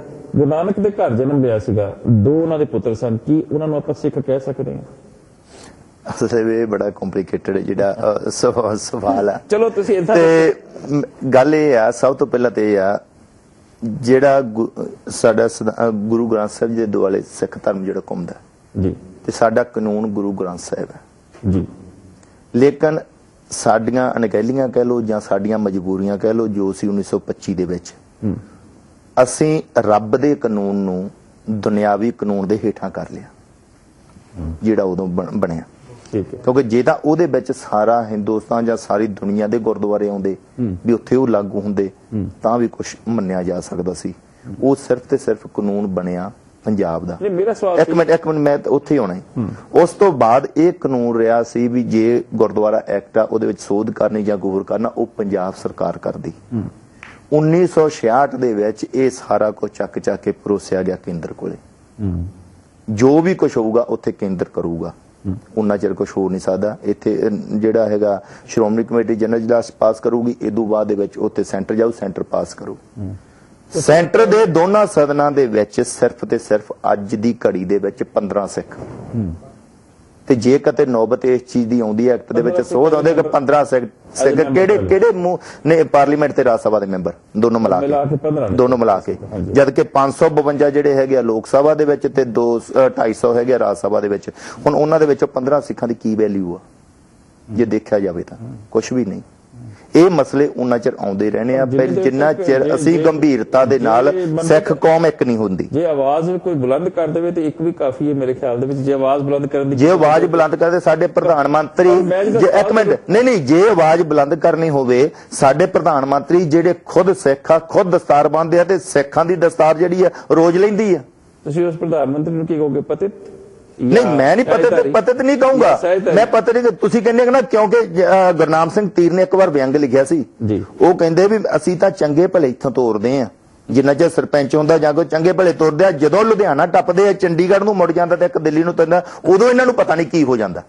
ਕੀ ਹੋ ਜਾਂਦਾ ਕੀ ਕਰ ਉਦੋਂ ਉਦੋਂ ਨਹੀਂ ਪਤਾ ਸਾਨੂੰ ਕੀ ਹੋ ਜਾਂਦਾ ਕੀ ਨਹੀਂ। ਮੈਂ ਜਿਹੜਾ ਪ੍ਰਸ਼ਨ ਪੁੱਛਿਆ ਸੀ ਸਿੱਖ ਦੇ ਘਰ ਜਨਮ ਲੈ ਕੇ ਸਿੱਖ ਦੇ ਘਰ ਜਨਮ ਲੈ ਕੇ ਦੁਨਿਆਵੀ ਤੌਰ ਤੇ ਅਸੀਂ ਉਹਨੂੰ ਸਿੱਖ ਹੀ ਕਵਾਂਗੇ। ਪਰ ਧਾਰਮਿਕ ਤੌਰ ਤੇ ਸਿੱਖ ਉਦੋਂ ਹੀ ਬਣੂਗਾ। ਜਿੱਦਣ 239 ਵਰੇ ਲਾ ਕੇ ਗੁਰੂ ਸਾਹਿਬ ਨੇ ਸਾਨੂੰ ਅੰਮ੍ਰਿਤ ਦੀ ਪੌਲ ਦਿੱਤੀ। ਹੈ। ਧਾਰਮਿਕ ਤੌਰ ਤੇ ਉਦੋਂ ਸਿੱਖ ਬਣੇਗਾ। ਧਾਰਮਿਕ ਤੌਰ ਤੇ ਉਦੋਂ ਹੀ ਸਿੱਖ ਬਣੂਗਾ। ਜਦੋਂ ਪੌਲ ਲਵੇਗਾ। ਤੁਸੀਂ ਕੀ ਕਹੋਗੇ? ਪਤਿਤ ਜਾਂ? ਸਹਿਜਦਾਰੀ ਕਿਨੂੰ? ਜਿਹੜਾ ਸਿੱਖ ਦੇ ਘਰ ਜਨਮਿਆ ਹੈ, ਪਰ ਸਿੱਖ ਨਹੀਂ ਹੈ ਤੁਸੀਂ ਕਹਿੰਦੇ ਉਨੀ ਦੇਰ ਤੱਕ ਉਹ ਸਿੱਖ ਨਹੀਂ ਜਿੰਦੇ ਤੱਕ ਉਹਨੂੰ ਉਹ- ਪਤਤ ਨਹੀਂ। ਕਹਿੰਦੇ ਕਿਉਂਕਿ ਪਤਤ ਦਾ ਅਸੀਂ ਉਹਨੂੰ ਕਹਿੰਦੇ ਜਿਹੜੇ ਦਾੜੀ ਕੇਸ ਕੱਟਦੇ ਆ। ਉਹਨੂੰ ਪਤਤ ਕਹਿੰਦੇ ਆ। ਆਮ ਤੌਰ ਤੇ ਹਮੇਸ਼ਾ ਹੀ ਜਿਹੜਾ ਪਰਫਾਰਮਾ ਬਣਾਇਆ ਗਿਆ ਸੀ ਸ਼ਰਾਬ ਦਾ ਸੇਵਨ ਕਰਦਾ ਉਹ ਪਤਿਤ ਹੈ। ਸ਼ਰਾ- ਸ਼ਰਾਬ ਦੇ ਸ਼ਰਾਬ ਦਾ ਨਸ਼ੇ ਕਰਦਾ। ਉਹ ਵੀ ਪੱਤੇ ਦੇ ਵਿੱਚ ਹੀ ਆਉਂਦਾ ਹੈਗਾ। ਜਿਹੜਾ ਤੰਬਾਕੂ ਦਾ ਸੇਵਨ ਕਰਦਾ ਉਹ ਵੀ ਇਹਦੇ ਨਸ਼ੇ ਕਰਦਾ ਉਹ ਵੀ ਪੱਤੇ ਦਾ ਜਿਹੜਾ ਦਾੜੀ ਕੇਸ ਕਰਦਾ ਉਹ ਵੀ ਪੱਤੇ ਦੇ ਵਿੱਚ ਆਉਂਦਾ ਹੈਗਾ। ਕੋਈ ਸਿੱਖ ਪੂਰਾ ਦਾੜੀ ਕੇਸ ਰੱਖੇ ਹੋਣ ਤੇ ਵਿੱਚੋਂ ਨਸ਼ੇ ਕਰਨ ਦੇ ਪਤਿਤ ਉਹ ਪੱਤੇ ਦੇ ਵਿੱਚ ਆਊਗਾ। ਫਿਰ ਉਹ- ਉਹਨੂੰ ਕਿਸ ਤਰ੍ਹਾਂ ਅਸੀਂ ਕਿਸ ਤਰ੍ਹਾਂ ਉਹਦਾ ਕਿ- ਕਿਹੜਾ ਪੈਮਾਨਾ ਤੁਹਾਡੇ ਕੋਲ ਕਿ ਤੁਸੀਂ ਕਿਹੜੀ ਕਸਵੱਟੀ ਹੈ? ਇਹ ਇਹ ਕੋਈ ਕਸਵੱਟੀ ਨਹੀਂ। ਇਹ ਤਾਂ ਸਿੱਖ ਦੀ ਖੁਦ ਹੀ ਜਿਹੜੀ ਹੈਗੀ ਆ ਮੇਰਾ ਪ੍ਰਸ਼ਨ ਉੱਥੇ ਦਾ ਉੱਥੇ ਹੀ ਹੈ ਕਿ ਉਹ ਪਤਿਤ ਕਹੋਗੇ ਜਾਂ ਸਹਿਜਧਾਰੀ ਕਹੋਗੇ ਉਹ ਪੱਤੇ ਤਾਂ ਹੋਊਗੇ ਨਹੀਂ ਉਹ। ਨਹੀਂ ਸਹਿਜਧਾਰੀ ਸਹਿਜਧਾਰੀ ਦੇ ਇੱਕ ਜਿਹੜਾ ਸ਼ਬਦ ਹੈ ਸਾਡੇ ਹੈ ਸਾਡੇ? ਵਿੱਚ ਕਿ ਨਾ ਉਹ ਸਹਿਜਧਾਰੀ ਜਿਹੜਾ ਹੁਣ ਭਾਈ ਕਾਨ ਸਿੰਘ ਨਾਭਾ ਜਿਹੜਾ ਲਿਖਿਆ। ਜੀ ਉਹਨਾਂ ਨੇ ਪਰਿਭਾਸ਼ਾ ਦੱਸੀ। ਉਹਨਾਂ ਨੇ ਜਿਹੜੀ ਪਰਿਭਾਸ਼ਾ ਦਿੱਤੀ ਵੀ ਜਿਹੜਾ ਸਹਿਜੇ ਸਹਿਜੇ ਸਿੱਖ ਧਰਮ ਦੇ ਵਿੱਚ ਪ੍ਰਪੱਖ ਹੋਣਾ ਹੋਵੇ। ਉਹ ਮੈਂ ਕਹੂੰ ਮੈਂ ਮੈਂ ਸੋਚਦਾ ਉਹ ਉਹ ਲੋਕ ਆ ਜਿਨ੍ਹਾਂ ਨੇ ਸਿੱਖ ਧਰਮ 'ਚ ਜਨਮ ਨਹੀਂ ਲਿਆ ਤੇ ਉਹ ਹੌਲੀ ਹੌਲੀ ਹੌਲੀ ਹੌਲੀ ਸਿੱਖ ਧਰਮ ਦੇ ਵਿੱਚ ਆਉਣ ਲੱਗੇ ਅਸੀਂ ਉਹਨਾਂ ਨੂੰ ਕਿਸੇ ਤਰੀਕੇ ਨਾਲ ਮਾਫ ਕਰ ਸਕਦੇ ਹਾਂ ਕਿਉਂਕਿ ਉਹਨਾਂ ਨੂੰ ਇਸ ਚੀਜ਼ ਦਾ ਨਹੀਂ ਪਤਾ। ਪਰ ਉਹਦੀ ਕੋਈ ਮਿਆਦ ਹੈ? ਉਹਦੀ ਨਹੀਂ ਦੇਖੋ ਮਿਆਦ ਤਾਂ ਹੁਣ ਜਿਵੇਂ ਜਿਵੇਂ ਆਪਾਂ ਤੁਸੀਂ ਰੋਜ਼ ਮੇਰੇ ਖਿਆਲ ਸਾਡੇ ਨਾਲ ਜਦ ਤੁਸੀਂ ਵੀ ਕਈ ਵਾਰ ਕਥਾ। ਕਰਦੇ ਜਾਂ ਹੋਰ ਕਥਾਵਾਚਕਾਂ ਨੂੰ ਅਸੀਂ ਸੁਣਦੇ ਆ ਜਾਂ ਪੜ੍ਹਦੇ ਆ। ਉਹ ਕਹਿੰਦੇ ਵੀ ਰੱਬ ਨੂੰ ਮਿਲਣ ਦੇ ਲਈ ਜਾਂ ਅੰਮ੍ਰਿਤ ਛਕਣ ਦੀ ਉਹ ਕੋਈ ਜਿਹੜੀ ਉਹ ਅਖੀਰ ਦੇ ਉੱਤੇ ਵੀ ਜਿਹੜੇ ਅੰਮ੍ਰਿਤ ਛਕ ਲੈਂਦੇ ਆ ਕਈ ਸਾਰੀ ਉਮਰ ਜਿਹੜੇ ਆ ਉਹ ਸ਼ਰਾਬਾਂ ਪੀਂਦੇ ਆ ਹੋਰ ਕਰਦੇ ਆ ਅਖੀਰ ਦੇ ਉਦੋਂ ਵੀ ਉਹ ਬਣ ਜਾਂਦੇ ਆ। ਪਰ- ਇਹ ਤੁਹਾਡੀ ਲਾਈਫ ਜਿਹੜੀ ਉਹ ਗਰੰਟਡ ਨਹੀਂ। ਅਬ ਜੀ ਮੈਂ ਤੁਹਾਡੇ ਕੋਲ ਸਵਾਲ ਪੁੱਛਦਾ। ਪਰ ਅਗਲੀ ਗੱਲ ਕੋਈ ਮਿਆਦ ਨਹੀਂ ਹੈ ਚਲੋ ਮੰਨ ਲਿਆ ਜਾਂਦਾ ਹੈ। ਪਰ ਇੱਕ ਬੰਦਾ ਸਾਰੀ ਉਮਰ ਹੀ ਇਹ ਕਹਿੰਦਾ ਰਹਿੰਦਾ ਕਿ ਮੈਂ ਗੁਰੂ ਗ੍ਰੰਥ ਸਾਹਿਬ ਦੇ ਵਿਸ਼ਵਾਸ ਰੱਖਦਾ ਦਸਾਂ ਗੁਰੂਆਂ ਦੇ ਵਿਸ਼ਵਾਸ ਰੱਖਦਾ ਪਰ ਮੈਂ ਹੈ ਸਹਿਜਧਾਰੀ ਹਾਂ ਸਾਰੀ ਉਮਰ ਹੀ ਉਹ ਲਗਾ ਦਿੰਦਾ। ਤਾਂ ਫਿਰ ਫਾਇਦਾ ਕੀ ਹੋਇਆ ਉਹਦੇ ਸਹਿਜਧਾਰੀ ਹੋਣ ਦਾ? ਕਿਉਂਕਿ ਜੇ ਸਤਿਗੁਰ ਦਾ ਸਿਧਾਂਤ ਹੈ ਉਹ ਕਹਿੰਦੇ ਜਿੰਨ ਤੱਕ ਤੁਸੀਂ ਪੌਲ ਨਹੀਂ ਲੈਂਦੇ ਤੁਹਾਡੀ ਮੁਕਤੀ ਨਹੀਂ ਹੋਣੀ ਦੇਖੋ ਗੱਲ ਤਾਂ ਉੱਥੇ ਆ ਜਾਂਦੀ ਆ ਵੀ ਗੁਰੂ ਨੂੰ ਮੰਨਦਾ ਗੁਰੂ ਦੀ ਗੱਲ ਨਹੀਂ ਮੰਨਦਾ। ਜੇ ਮੈਂ ਉਹੀ ਬੇਨਤੀ ਕੀਤੀ ਸੀ ਸਾਰੀ ਉਮਰ ਲਗਾ ਦਿੰਦਾ ਫਿਰ ਹਾਂਜੀ। ਇਹਦਾ ਮਤਲਬ ਤਾਂ ਹੀ- ਤਾਂ ਮੈਂ ਕਹਿੰਦਾ- ਮਕਸਦ ਹੈ ਸਿਰਫ ਸ਼ਰਾਰਤ ਕਰਨਾ ਸ਼ਰਾਰਤਾਂ ਕਰੀ ਜਾਂਦਾ ਤਾਂ ਹੀ ਇਹ ਆ ਵੀ ਸਿੱਖ ਸਹਿਜਧਾਰੀ ਨਹੀਂ ਹੋ ਸਕਦਾ। ਸਿੱਖ ਜੀ ਸਿੱਖ ਤੁਸੀਂ ਉਸ ਜਿਹਨੂੰ ਆਪਾਂ ਪਾਰਲੀਮੈਂਟ ਕਹਿੰਦੇ ਆ ਸਿੱਖਾਂ ਦੀ ਤੁਸੀਂ ਉਹਦੇ ਵਿੱਚ ਰਹੇ ਹੋ। ਕੀ ਪਾਰਲੀਮੈਂਟ ਦੇ ਉੱਪਰ ਕਿਸੇ ਦਾ ਹੁਕਮ ਚੱਲ ਸਕਦਾ? ਕਿਉਂਕਿ ਮਨਪ੍ਰੀਤ ਨੇ ਕਿਹਾ ਕਿ ਤੁਹਾਡੀ ਜਿਹੜੀ ਪਾਰਲੀਮੈਂਟ ਹੈ ਜਿਹਨੂੰ ਤੁਸੀਂ ਮਿੰਨੀ ਪਾਰਲੀਮੈਂਟ ਕਹਿੰਦੇ ਹੋ ਉਹ ਸਰਕਾਰ ਕੇਂਦਰ ਦੇ ਅਧੀਨ ਹੈ। ਤਾਂ ਫਿਰ ਕਿਹੜੇ ਕਾਹਦੇ ਕਿਸ ਤਰ੍ਹਾਂ ਦਾਵਾ ਕਰਦੇ ਹੋ ਤੁਸੀਂ ਕਿ ਤੁਹਾਡੀ ਪਾਰਲੀਮੈਂਟ ਹੈ? ਉਹੀ ਤਾਂ ਮੈਂ ਗੱਲ ਕਰਨ ਡਿਆ ਵਾਂ ਜੀ ਵੇਖੋ ਗੱਲ ਫੇਰ ਉੱਥੇ ਆ ਜਾਂਦੀ ਆ ਵੀ ਮੁਲਕ ਦੇ ਕਨਸਟੀਟਿਊਸ਼ਨ ਦੇ ਵਿੱਚ ਸਾਨੂੰ ਸਿੱਖ ਨਹੀਂ ਮੰਨਿਆ ਜਾ ਰਿਹਾ। ਅਸੀਂ ਹਿੰਦੂ ਆ। ਅਸੀਂ ਉੱਥੇ ਉਹਨਾਂ ਉਹਨਾਂ ਹੀ ਅਦਾਲਤਾਂ ਦੇ ਵਿੱਚ ਅਸੀਂ ਆਪਣੇ ਬੱਚਿਆਂ ਦੇ ਵਿਆਹ ਕਰਦੇ ਆ ਐਜ਼ ਏ ਹਿੰਦੂ ਡਿਕਲੇਅਰ ਕਰਦੇ ਆ ਉਹਨਾਂ ਹੀ ਅਦਾਲਤਾਂ ਦੇ ਵਿੱਚ ਅਸੀਂ ਆਪਣੀ ਜਾਇਦਾਦ ਦੀ ਵੰਡ ਕਰਦੇ ਆ ਐਜ਼ ਏ ਹਿੰਦੂ ਡਿਕਲੇਅਰ ਕਰਕੇ ਕਰਦੇ ਆ ਫੇਰ ਕਿੱਦਾਂ ਕਹਿੰਦੇ ਜੇ ਵੀ ਉਹ ਅਦਾਲਤਾਂ ਸਾਡੇ ਸਿੱਖ ਧਰਮ ਦਾ ਫੈਸਲਾ ਕਰ ਦੇਣਗੀਆਂ? ਇਹ ਸਾਨੂੰ ਮੁੱਦਾ ਆਪ ਸਿੱਖ ਕੌਮ ਨੂੰ ਸਾਡੀ ਸੁਪਰੀਮ ਅਦਾਲਤ ਜਿਹੜੀ ਗੁਰੂਆਂ ਨੇ ਬਣਾਈ ਆ। ਉਹਦੇ ਤੇ ਵਿਚਾਰਨਾ ਪਊਗਾ ਵੀ ਕਿਹਦਾ ਹੱਕ ਵਾ ਤੇ ਕਿਹਦਾ ਨਹੀਂ ਹੱਕ। ਉਸੇ ਅਦਾਲਤ ਨੇ ਪਿਛਲੀਆਂ ਸ਼੍ਰੋਮਣੀ ਕਮੇਟੀ ਦੀਆਂ ਇਲੈਕਸ਼ਨਾਂ ਦੇ ਵਿੱਚ ਕਹਿਤਾ ਵੀ ਇਹ ਵੋਟ ਪਾ ਨਹੀਂ ਸਕਦੇ। ਉਹ ਅਦਾਲਤ ਅੱਜ ਕਹਿਣ ਡਈ ਆ ਵੀ ਇਹ ਵੋਟ ਪਾ ਸਕਦੇ ਆ ਕਿਉਂਕਿ ਪਿੱਛੇ ਸ਼ਰਾਰਤ ਕੰਮ ਕਰਨ ਡਈ ਆ ਵੀ ਵਿਧਾਨ ਸਭਾ ਦੀਆਂ ਇਲੈਕਸ਼ਨਾਂ ਕਿੱਦਾਂ ਜਿੱਤਣੀਆਂ ਵਾ। ਅੱਛਾ ਜੇ ਇਹ ਨਹੀਂ ਕਰਦੇ ਅਪੀਲ ਤਾਂ ਫਿਰ ਇਹ ਫੈਸਲਾ ਲਾਗੂ ਹੋ ਗਿਆ। ਚਲੋ ਇਹ ਇਹ ਚੋਣਾਂ ਰੱਦ ਹੋਣ ਜਾਂ ਨਾ ਹੋਣ ਪਰ ਇਹ ਇਹਨਾਂ ਵੋਟਾਂ ਦੇ ਇਹਨਾਂ ਚੋਣਾਂ ਦੇ ਵਿੱਚ ਤਾਂ ਉਹਨਾਂ ਨੇ ਭਈਏ ਜਾਂ ਜਿਹੜੇ ਵੀ ਭੁਗਤਾਏ ਸਿੱਖ ਕਹਿ ਕੇ ਭੁਗਤਾਏ ਅੱਗੇ ਤਾਂ ਫਿਰ ਹੀ ਉਹ ਕਹਿਣਗੇ ਨਹੀਂ ਇਹ ਨਹੀਂ ਗੇ ਕਰਨਗੇ ਅਪੀਲ ਪਰ ਕਿਸੇ ਤੋਂ ਤੁਹਾਡੇ ਮੇਰੇ ਵਰਗੇ ਤੋਂ ਕਰਵਾ ਦੇਣਗੇ ਕੇਸ ਲੰਮਾ ਲਮਕਦਾ ਰਵੇ। ਸਿਰਫ ਲਮਕਾਣ ਦੀ ਨੀਅਤ ਦੇ ਨਾਲ। ਲਮਕਾਉਣ ਦੀ ਨਹੀਂ ਕਿਉਂਕਿ ਕਲੀਅਰ ਇਹ ਵੀ ਨਹੀਂਗੇ ਤੇ ਕਲੀਅਰ ਉਹ ਵੀ ਨਹੀਂ। ਜੇ ਇਹ ਕਲੀਅਰ ਹੋਣ ਤੇ ਫਿਰ ਅਕਾਲ ਤਖਤ ਤੇ ਆਉਣ। ਮੈਂ ਇਹ ਕਹਿੰਦਾ ਵਾਂ ਵੀ ਸਾਨੂੰ ਗੁਰੂ ਨੇ ਮੇਰੀ ਪੀਰੀ ਦਾ ਸਿਧਾਂਤ ਦਿੱਤਾ ਵਾ ਧਰਮ ਦੇ ਉੱਤੇ ਸਿਆਸਤ ਦਾ। ਤੇ ਅਸੀਂ ਸਿਆਸਤ ਨੂੰ ਧਰਮ ਦੇ ਉੱਤੇ ਹਾਵੀ ਕਰਕੇ ਵੇਖਣ ਦੇ ਆ ਜੇ ਵਾਕਈ ਗੁਰੂ ਦੇ ਸਿਧਾਂਤ ਨੂੰ ਮੰਨਣਾ ਤੇ ਫੇਰ ਤਾਂ ਅਕਾਲ ਤਖਤ ਸਾਹਿਬ ਅਦਾਲਤ ਨੂੰ ਕਵੇ ਕਿ ਆ ਸਾਡਾ ਹੁਕਮ ਜੇ। ਇਹ ਤੁਹਾਨੂੰ ਲਾਗੂ ਕਰਨਾ ਪੈਣਾ। ਜੀ, ਬਹੁਤ ਬਹੁਤ ਸ਼ੁਕਰੀਆ, ਸਾਡੀ ਗੱਲਬਾਤ ਚੱਲ ਰਹੀ ਹੈ। ਸਤਿਕਾਰਯੋਗ ਮਨਪ੍ਰੀਤ ਸਿੰਘ ਜੀ ਬਦਨੀ ਕਲਾ ਵਾਲੇ ਔਰ ਜਿਹੜੇ ਕਿ ਅਜੀਤ ਦੇ ਪੱਤਰ ਪ੍ਰੇਰਕ ਨੇ ਔਰ ਸਤਿਕਾਰਯੋਗ ਅਮਰਜੀਤ ਸਿੰਘ ਜੀ ਖਾਲੜਾ ਸਾਹਿਬ, ਸੰਧੂ ਸਾਹਿਬ, ਜਿਹੜੇ ਕਿ ਸ਼੍ਰੋਮਣੀ ਗੁਰਦੁਆਰਾ ਪ੍ਰਬੰਧਕ ਕਮੇਟੀ ਦੇ ਸਾਬਕਾ ਮੈਂਬਰ ਨੇ ਔਰ ਸਤਿਕਾਰਯੋਗ ਕਿਰਪਾਲ ਸਿੰਘ ਜੀ, ਜਿਹੜੇ ਸਿੱਖ ਸਟੂਡੈਂਟ ਫੈਡਰੇਸ਼ਨ ਦੇ ਜਨਰਲ ਸਕੱਤਰ ਨੇ ਔਰ ਸਤਿਕਾਰਯੋਗ ਕੈਪਟਨ ਤਜਿੰਦਰ ਸਿੰਘ ਸਾਹਿਬ ਜੀ। ਮੈਂ ਕੈਪਟਨ ਸਾਹਿਬ ਤੁਹਾਡੇ ਤੋਂ ਔਰ ਕਿਰਪਾਲ ਸਿੰਘ ਸਾਹਿਬ ਤੁਹਾਡੇ ਤੋਂ ਪੁੱਛਦਾ ਕਿਉਂਕਿ ਅਮਰਜੀਤ ਸਿੰਘ ਸਾਹਿਬ ਨੇ ਇੱਕ ਗੱਲ ਕਹੀ ਕਿ ਉਹ ਆਪ ਨਹੀਂ ਕਰਨਗੇ ਕੇਸ ਪਰ ਕਿਸੇ ਤੋਂ ਕਰਵਾ ਦੇਣ। ਜੇ ਕਿਸੇ ਤੋਂ ਕਰਵਾਉਂਦੇ ਆ ਤੇ ਲੋਕ ਉਹਨਾਂ ਨੂੰ ਕੋਈ ਸਵਾਲ ਨਹੀਂ ਪੁੱਛਣਗੇ ਕਿ ਤੁਸੀਂ ਆਪ ਕਿਉਂ ਨਹੀਂ ਕਰ ਰਹੇ ਕੇਸ ਕੀ ਕਾਰਨ ਹੈ? ਕੀ ਜਵਾਬ ਦੇ ਦਿਓ ਕੈਪਟਨ ਸਾਹਿਬ ਦਾ ਤੁਸੀਂ? ਹਾਂਜੀ ਡਾਕਟਰ ਸਾਹਿਬ ਇਹ- ਮਾਈਕਰੋ ਕੈਪਟਨ ਇਹ ਇਹਨਾਂ ਦੇ ਇੱਕ ਪੋਲਿਟਿਕਸ ਹੈ ਕਿਉਂਕਿ ਜੋ ਅੱਜ ਸ਼੍ਰੋਮਣੀ ਕਮੇਟੀ ਦੇ ਮੈਂਬਰ ਹੈ ਜੀ। ਜਾਂ ਵਿਧਾਨ ਸਭਾ ਦੇ ਮੈਂਬਰ ਹੈ ਚਾਹੇ ਉਹ ਸ਼੍ਰੋਮਣੀ ਕਮੇਟੀ ਦੇ ਮੈਂਬਰ ਹੈ। ਉਹਨਾਂ ਨੂੰ ਸਿੱਖੀ ਪਿਆਰੀ ਨਹੀਂ ਉਹਨਾਂ ਨੂੰ ਕੁਰਸੀਆਂ ਪਿਆਰੀਆਂ ਨੇ। ਉਹ ਆਪਣੀ ਕੁਰਸੀ ਬਚਾਉਣ ਦੀ ਖਾਤਰ ਕੁਝ ਵੀ ਕਰ ਸਕਦੇ ਨੇ।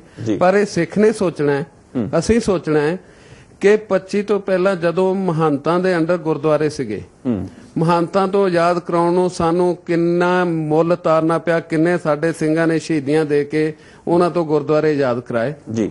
ਤੇ ਸ਼੍ਰੋਮਣੀ ਗੁਰਦੁਆਰਾ ਪ੍ਰਬੰਧਕ ਕਮੇਟੀ ਹੋਂਦ ਵਿੱਚ ਆਈ। ਜੀ। ਕੀ ਅਸੀਂ ਸੋਚਦੇ ਚਾਹੁੰਦੇ ਆ ਕਿ ਦੁਬਾਰਾ ਉਹਨਾਂ ਦੇ ਉੱਤੇ ਮਹੰਤਾਂ ਦਾ ਕਬਜ਼ਾ ਹੋਵੇ? ਤੇ ਸਾਨੂੰ ਦੁਬਾਰਾ ਕੁਰਬਾਨੀਆਂ ਕਰਨੀਆਂ ਪੈਣ ਅਸੀਂ ਦੁਬਾਰਾ ਸ਼ਹਾਦਤਾਂ ਦਈਏ। ਸਿੱਖ ਕੌਮ ਕੈਪਟਨ ਸਾਹਿਬ ਉਸ ਵਕਤ ਜਿਹੜਾ ਸੀ ਨਾ ਕਾਨੂੰਨ ਜਦੋਂ ਤੁਸੀਂ 25 ਤੋਂ ਜਾਂ 20 ਤੋਂ ਪਹਿਲਾਂ ਦੀ ਗੱਲ ਉਦੋਂ ਗੁਰਦੁਆਰਾ ਐਕਟ ਨਹੀਂ ਸੀ ਬਣਿਆ ਉਦੋਂ ਤਾਂ ਫੇਰ ਤੁਸੀਂ ਆਜ਼ਾਦ ਕਰਵਾ ਲੇ ਕਿਉਂਕਿ ਉਹ ਕਾਨੂੰਨਨ ਤੌਰ ਉੱਪਰ ਨਹੀਂ ਸਨ ਬੈਠੇ ਹੋਏ। ਅੱਜ ਤਾਂ ਜੇ ਫਿਰ ਕਾਨੂੰਨਨ ਤੌਰ ਉੱਪਰ ਤੁਹਾਡੇ ਅੰਦਰ ਘੁਸਪੈਠ ਕਰ ਗਏ ਤਾਂ ਫਿਰ ਤੁਸੀਂ ਕਿਸ ਤਰ੍ਹਾਂ ਬਚੋਗੇ? ਡਾਕਟਰ ਸਾਹਿਬ ਜਿਹੜੀ ਕੋਸਪੈਟ ਦੀ ਗੱਲ ਆ ਮੈਂ ਪਹਿਲਾਂ ਵੀ ਕੀਤੀ ਸੀਗੀ। ਜੀ। ਇਹ ਸਾ ਤੁਸੀਂ ਇੱਕ ਕੁਐਸਚਨ ਕੀਤਾ ਕਿ ਇਹ ਸਿੱਖੀ ਦੇ ਵਿੱਚ ਹੀ ਕਿਉਂ ਕਰ ਰਹੇ? ਹੈ ਹਾਂਜੀ। ਇਹਦਾ ਕਾਰਨ ਇਹ ਹੈ। ਕਿ ਅੱਜ ਤੱਕ ਸਿੱਖ ਜਿਹੜੇ ਆ ਹਮੇਸ਼ਾ ਹੀ ਆਜ਼ਾਦ ਰਹੇ ਆ। ਸਿਰਫ 100 ਸਾਲ ਅਸੀਂ ਗੁਲਾਮੀ ਅੰਗਰੇਜ਼ ਸਰਕਾਰ ਦੀ ਕੱਟੀ ਹੈ। ਉਹ ਤੋਂ ਪਹਿਲਾਂ ਵੀ ਆਜ਼ਾਦ ਸੀ ਸਾਡਾ ਆਪਣਾ ਰਾਜ ਸੀ। ਹੁਣ ਅਸੀਂ। ਹਿੰਦੂ ਹੁਣ। ਹੁਣ ਗੁਲਾਮ ਹੈ ਅਸੀਂ ਆਪਣੀ ਕਮਜ਼ੋਰੀਆਂ ਦੇ ਕਾਰਨ। ਪਰ ਜਿਹੜੀ ਦੂਸਰੀ ਕੌਮ ਆ ਇਹਨਾਂ ਨੇ ਗੁਲਾਮੀ ਵਿੱਚ ਹੀ ਹਿੰਦੁਸਤਾਨ ਦੇ ਵਿੱਚ ਗੁਜ਼ਾਰੀ ਆਪਣੀ ਲਾਈਫ। ਜੀ। ਇਹਨਾਂ ਨੂੰ ਹੁਣ ਮੌਕਾ ਮਿਲ ਗਿਆ ਆਜ਼ਾਦੀ ਦਾ। ਔਰ ਇਹ ਨਹੀਂ ਚਾਹੁੰਦੇ ਕਿ ਦੁਬਾਰਾ ਸਿੱਖ ਕੋਈ ਆਜ਼ਾਦ ਆਜ਼ਾਦ ਸਿੱਖ ਰਾਜ ਸਥਾਪਿਤ ਕਰ ਲੈਣ ਤੇ ਕਿਤੇ ਸਾਡੇ ਤੇ ਹਾਵੀ ਨਾ ਹੋ ਜਾਣ ਪਰ ਸਿੱਖ ਜਿਹੜਾ ਆ ਕਦੇ ਕਿਸੇ ਤੇ ਹਾਵੀ ਨਹੀਂ ਹੁੰਦਾ ਜੀ, ਜੀ। ਸਾਨੂੰ ਕਿਰਪਾਨ ਪਾਉਣ ਤੋਂ ਜੇ ਮਨਾ ਕੀਤਾ ਕਿਰਪਾਨ ਹਮੇਸ਼ਾ ਹੀ ਫੈਂਸ ਕਦੇ ਨਹੀਂ ਕਰਦੀ ਡਿਫੈਂਸ ਕਰਦੀ। ਜੀ ਬਿਲਕੁਲ ਉਹ ਤਾਂ ਹੈ ਹੀ ਉਸ ਇਹ। ਸਿੱਖਾਂ ਨੂੰ ਸੋਚਣਾ ਪਏਗਾ ਸੰਗਤ ਨੂੰ ਕਿ ਇਹ ਸਿੱਖਾਂ ਦੇ ਵਿੱਚ ਇੱਕ ਘੁਸਪੈਠ ਹੈ ਇਹਨੂੰ ਰੋਕਿਆ ਜਾਵੇ। ਜੀ। ਤੇ ਅਸੀਂ ਆਪਣੀ ਮੈਂ ਫਿਰ ਇਹੀ ਬੇਨਤੀ ਕਰਦਾ ਕਿ ਪਾਰਟੀ ਵਾਈਜ਼ ਤੋਂ ਉੱਤੇ ਉਠੀਏ। ਜੀ। ਅਗਰ ਆਪ ਵੀ ਇਸ ਮੁੱਦੇ ਦੇ ਉੱਤੇ ਆਪਣੀ ਕੋਈ ਗੱਲਬਾਤ ਕਰਨਾ ਚਾਹੁੰਦੇ ਹੋ ਸਾਡੇ ਕੋਲ ਸਿਰਫ 15 ਮਿੰਟ ਦਾ ਸਮਾਂ ਹੋ ਰਿਹਾ ਹੈ ਆਪ ਫੋਨ ਕਾਲ ਸਾਨੂੰ ਮਿਲਾ ਸਕਦੇ ਹੋ। ਸਾਡਾ ਜਿਹੜਾ ਨੰਬਰ ਹੈ ਸਕਰੋਲ ਦੇ ਉੱਤੇ ਡਿਸਪਲੇ ਹੋ ਰਿਹਾ ਹੋਣਾ ਸਾਡੀ ਸਕਰੀਨ ਦੇ ਉੱਤੇ। ਅਮਰਜੀਤ ਤੁਸੀਂ ਕੁਝ ਕਹਿਣਾ ਚਾਹ ਰਹੇ ਸੀ? ਹਾਂਜੀ ਡਾਕਟਰ ਸਾਹਿਬ ਜਿੱਥੋਂ ਤੱਕ ਇਹ ਆ ਨਾ ਘੁਸਪੈਠ ਦੀ ਗੱਲ ਜਾਂ ਕੋਈ ਵੀ ਜੀ। ਗੱਲ ਫੇਰ ਉੱਥੇ ਆਉਂਦੀ ਆ ਸਿਧਾਂਤਕ ਹੂੰ। ਤੁਸੀਂ ਜਿਸ ਟਾਈਮ ਤੇ ਸਿੰਘ ਸਭਾ ਲਹਿਰ ਜਾਂ ਗੁਰਦੁਆਰਿਆਂ ਦੀ ਆਜ਼ਾਦੀ ਦੀ ਗੱਲ ਚੱਲ ਰਹੀ ਸੀ ਤੇ ਡਾਕਟਰ ਅੰਬੇਦਕਰ ਹੋਣੀ ਸਿੱਖੀ ਦੇ ਵਿੱਚ ਸ਼ਾਮਲ ਹੋਣ ਦੀ ਆਉਣਾ ਚਾਹੁੰਦੇ ਸਨ। ਗੱਲ ਆਈ ਸੀਗੀ। ਹਾਂਜੀ ਬਿਲਕੁਲ ਆਈ ਸੀ। ਉਸ ਟਾਈਮ ਦੇ ਉੱਤੇ ਇਸੇ ਮੁਲਕ ਦੇ ਬਾਪੂ ਮਹਾਤਮਾ ਗਾਂਧੀ ਨੇ ਇਹ ਕਿਹਾ ਹੈਗਾ ਵੀ ਇਹ ਮੁਸਲਮਾਨ ਧਰਮ 'ਚ ਚਲੇ ਜਾਣ ਪਰ ਸਿੱਖੀ 'ਚ ਨਾ ਜਾਣ। ਸਾਨੂੰ ਮਨਜ਼ੂਰ ਆ ਜੀ। ਤੇ ਉਸ ਟਾਈਮ ਤੇ ਸਿੱਖ ਵਫਦ ਉਹਦੇ ਕੋਲ ਗਿਆ ਸੀ ਵੀ ਤੂੰ ਇਹ ਸਟੇਟਮੈਂਟ ਕਿਉਂ ਦਿੱਤੀ? ਉਹਦਾ ਪਹਿਲਾ ਸਵਾਲ ਇਹ ਸੀ ਵੀ ਕੀ ਸਿੱਖ ਹਿੰਦੂ ਧਰਮ ਦਾ ਅੰਗ ਨੇ? ਉਹਨਾਂ ਨੇ ਕਿਹਾ ਨਹੀਂ। ਤੇ ਉਹ ਕਹਿੰਦੇ ਫਿਰ ਸਿੱਖਾਂ ਤੇ ਮੁਸਲਮਾਨਾਂ ਦੇ ਵਿੱਚ ਫ਼ਰਕ ਕੀ ਆ? ਸਾਡੇ ਵੱਲੋਂ ਤੁਹਾਡੇ 'ਚ ਜਾਣ ਦੀ ਬਜਾਏ ਉਧਰ ਚੱਲ ਜਾਣ।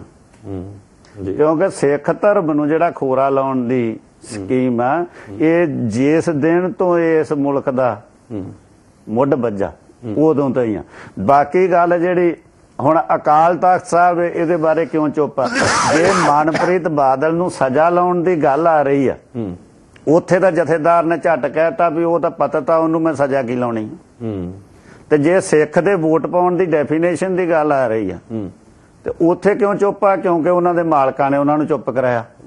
ਮੈਂ ਤਾਂ ਕਹਿੰਦਾ ਵੀ ਸਿੱਖ ਤਾਂ ਕੌਮ ਨੂੰ ਉਸ ਆਪਣੀ ਅਦਾਲਤ ਨੂੰ ਮਜ਼ਬੂਤ ਕਰਨ ਦੇ ਲਈ ਉੱਥੇ ਇਕੱਠਿਆ ਹੋਣਾ ਚਾਹੀਦਾ। ਅਕਾਲ ਤਖਤ ਸਾਹਿਬ ਦੇ ਜਥੇਦਾਰ ਦਾ ਕੋਈ ਮਾਲਕ ਹੋ ਸਕਦਾ? ਇਹ ਤਾਂ ਚੀਜ਼ ਸਿੱਖ ਕੌਮ ਨੇ ਫੈਸਲਾ ਕਰਨਾ ਕਿਉਂਕਿ ਸ਼੍ਰੋਮਣੀ ਗੁਰਦੁਆਰਾ ਪ੍ਰਬੰਧਕ ਕਮੇਟੀ ਦੇ ਕਨਸਟੀਟਿਊਸ਼ਨ ਦੇ ਵਿੱਚ ਅਕਾਲ ਤਖਤ ਦੇ ਜਥੇਦਾਰ ਨਾਂ ਦੀ ਕੋਈ ਗੱਲ ਹੈ ਨਹੀਂਗੀ ਜਥੇਦਾਰ ਨਾਲ ਦੀ ਕੋਈ ਗੱਲ ਨਹੀਂ? ਨਹੀਂ। ਉਹ ਉੱਥੇ ਗ੍ਰੰਥੀ ਦੀ ਡੈਫੀਨੇਸ਼ਨ ਆਉਂਦੀ ਆ ਜਥੇਦਾਰ ਦੀ ਨਹੀਂ ਆਉਂਦੀ। ਮਤਲਬ ਕੀ ਪਾਰਟਿਕੂਲਰ ਕੀ ਲਿਖਿਆ ਹੈ? ਕਿ ਅਕਾਲ ਸਾਹਿਬ ਤੇ ਜਿਹੜਾ ਜਿਹੜਾ ਹੋਏਗਾ ਜਿਸੋ ਕੋਲ ਜਿਹਨੂੰ ਆਪਾਂ ਹੁਣ ਜਥੇਦਾਰ ਕਹਿੰਦੇ ਆ ਉਹਨੂੰ ਗ੍ਰੰਥੀ ਕਿਹਾ ਗਿਆ। ਅੱਛਾ ਇਹ ਯੂਜ਼ ਕੀਤਾ ਸ਼ਬਦ ਕਰ ਹਾਂਜੀ। ਜਥੇਦਾਰ ਨਹੀਂ ਯੂਜ਼ ਜਥੇਦਾਰ ਨਹੀਂ। ਤੇ ਫਿਰ ਕੀ ਕੀ ਫਿਰ ਇਹ ਕਿਸ ਤਰ੍ਹਾਂ ਇਹ ਕਿਸ ਤਰ੍ਹਾਂ ਵਿਧਾਨ ਬਣਿਆ? ਕਿਸ ਤਰ੍ਹਾਂ ਹੁਕਮਨਾਮਾ ਸਾਹਿਬ ਕਿਸ ਤਰ੍ਹਾਂ ਲਾਗੂ ਕਰ ਦਿੰਦੇ ਤੁਹਾਨੂੰ ਦੱਸਿਆ ਵੀ ਸਿਧਾਂਤਕ ਤੌਰ ਤੇ ਜੇ ਅਸੀਂ ਇਹਨੂੰ ਲੈਣਾ ਤੇ ਸਾਰਾ ਕੁਝ ਉਲਟ ਵਾ। ਹੂੰ।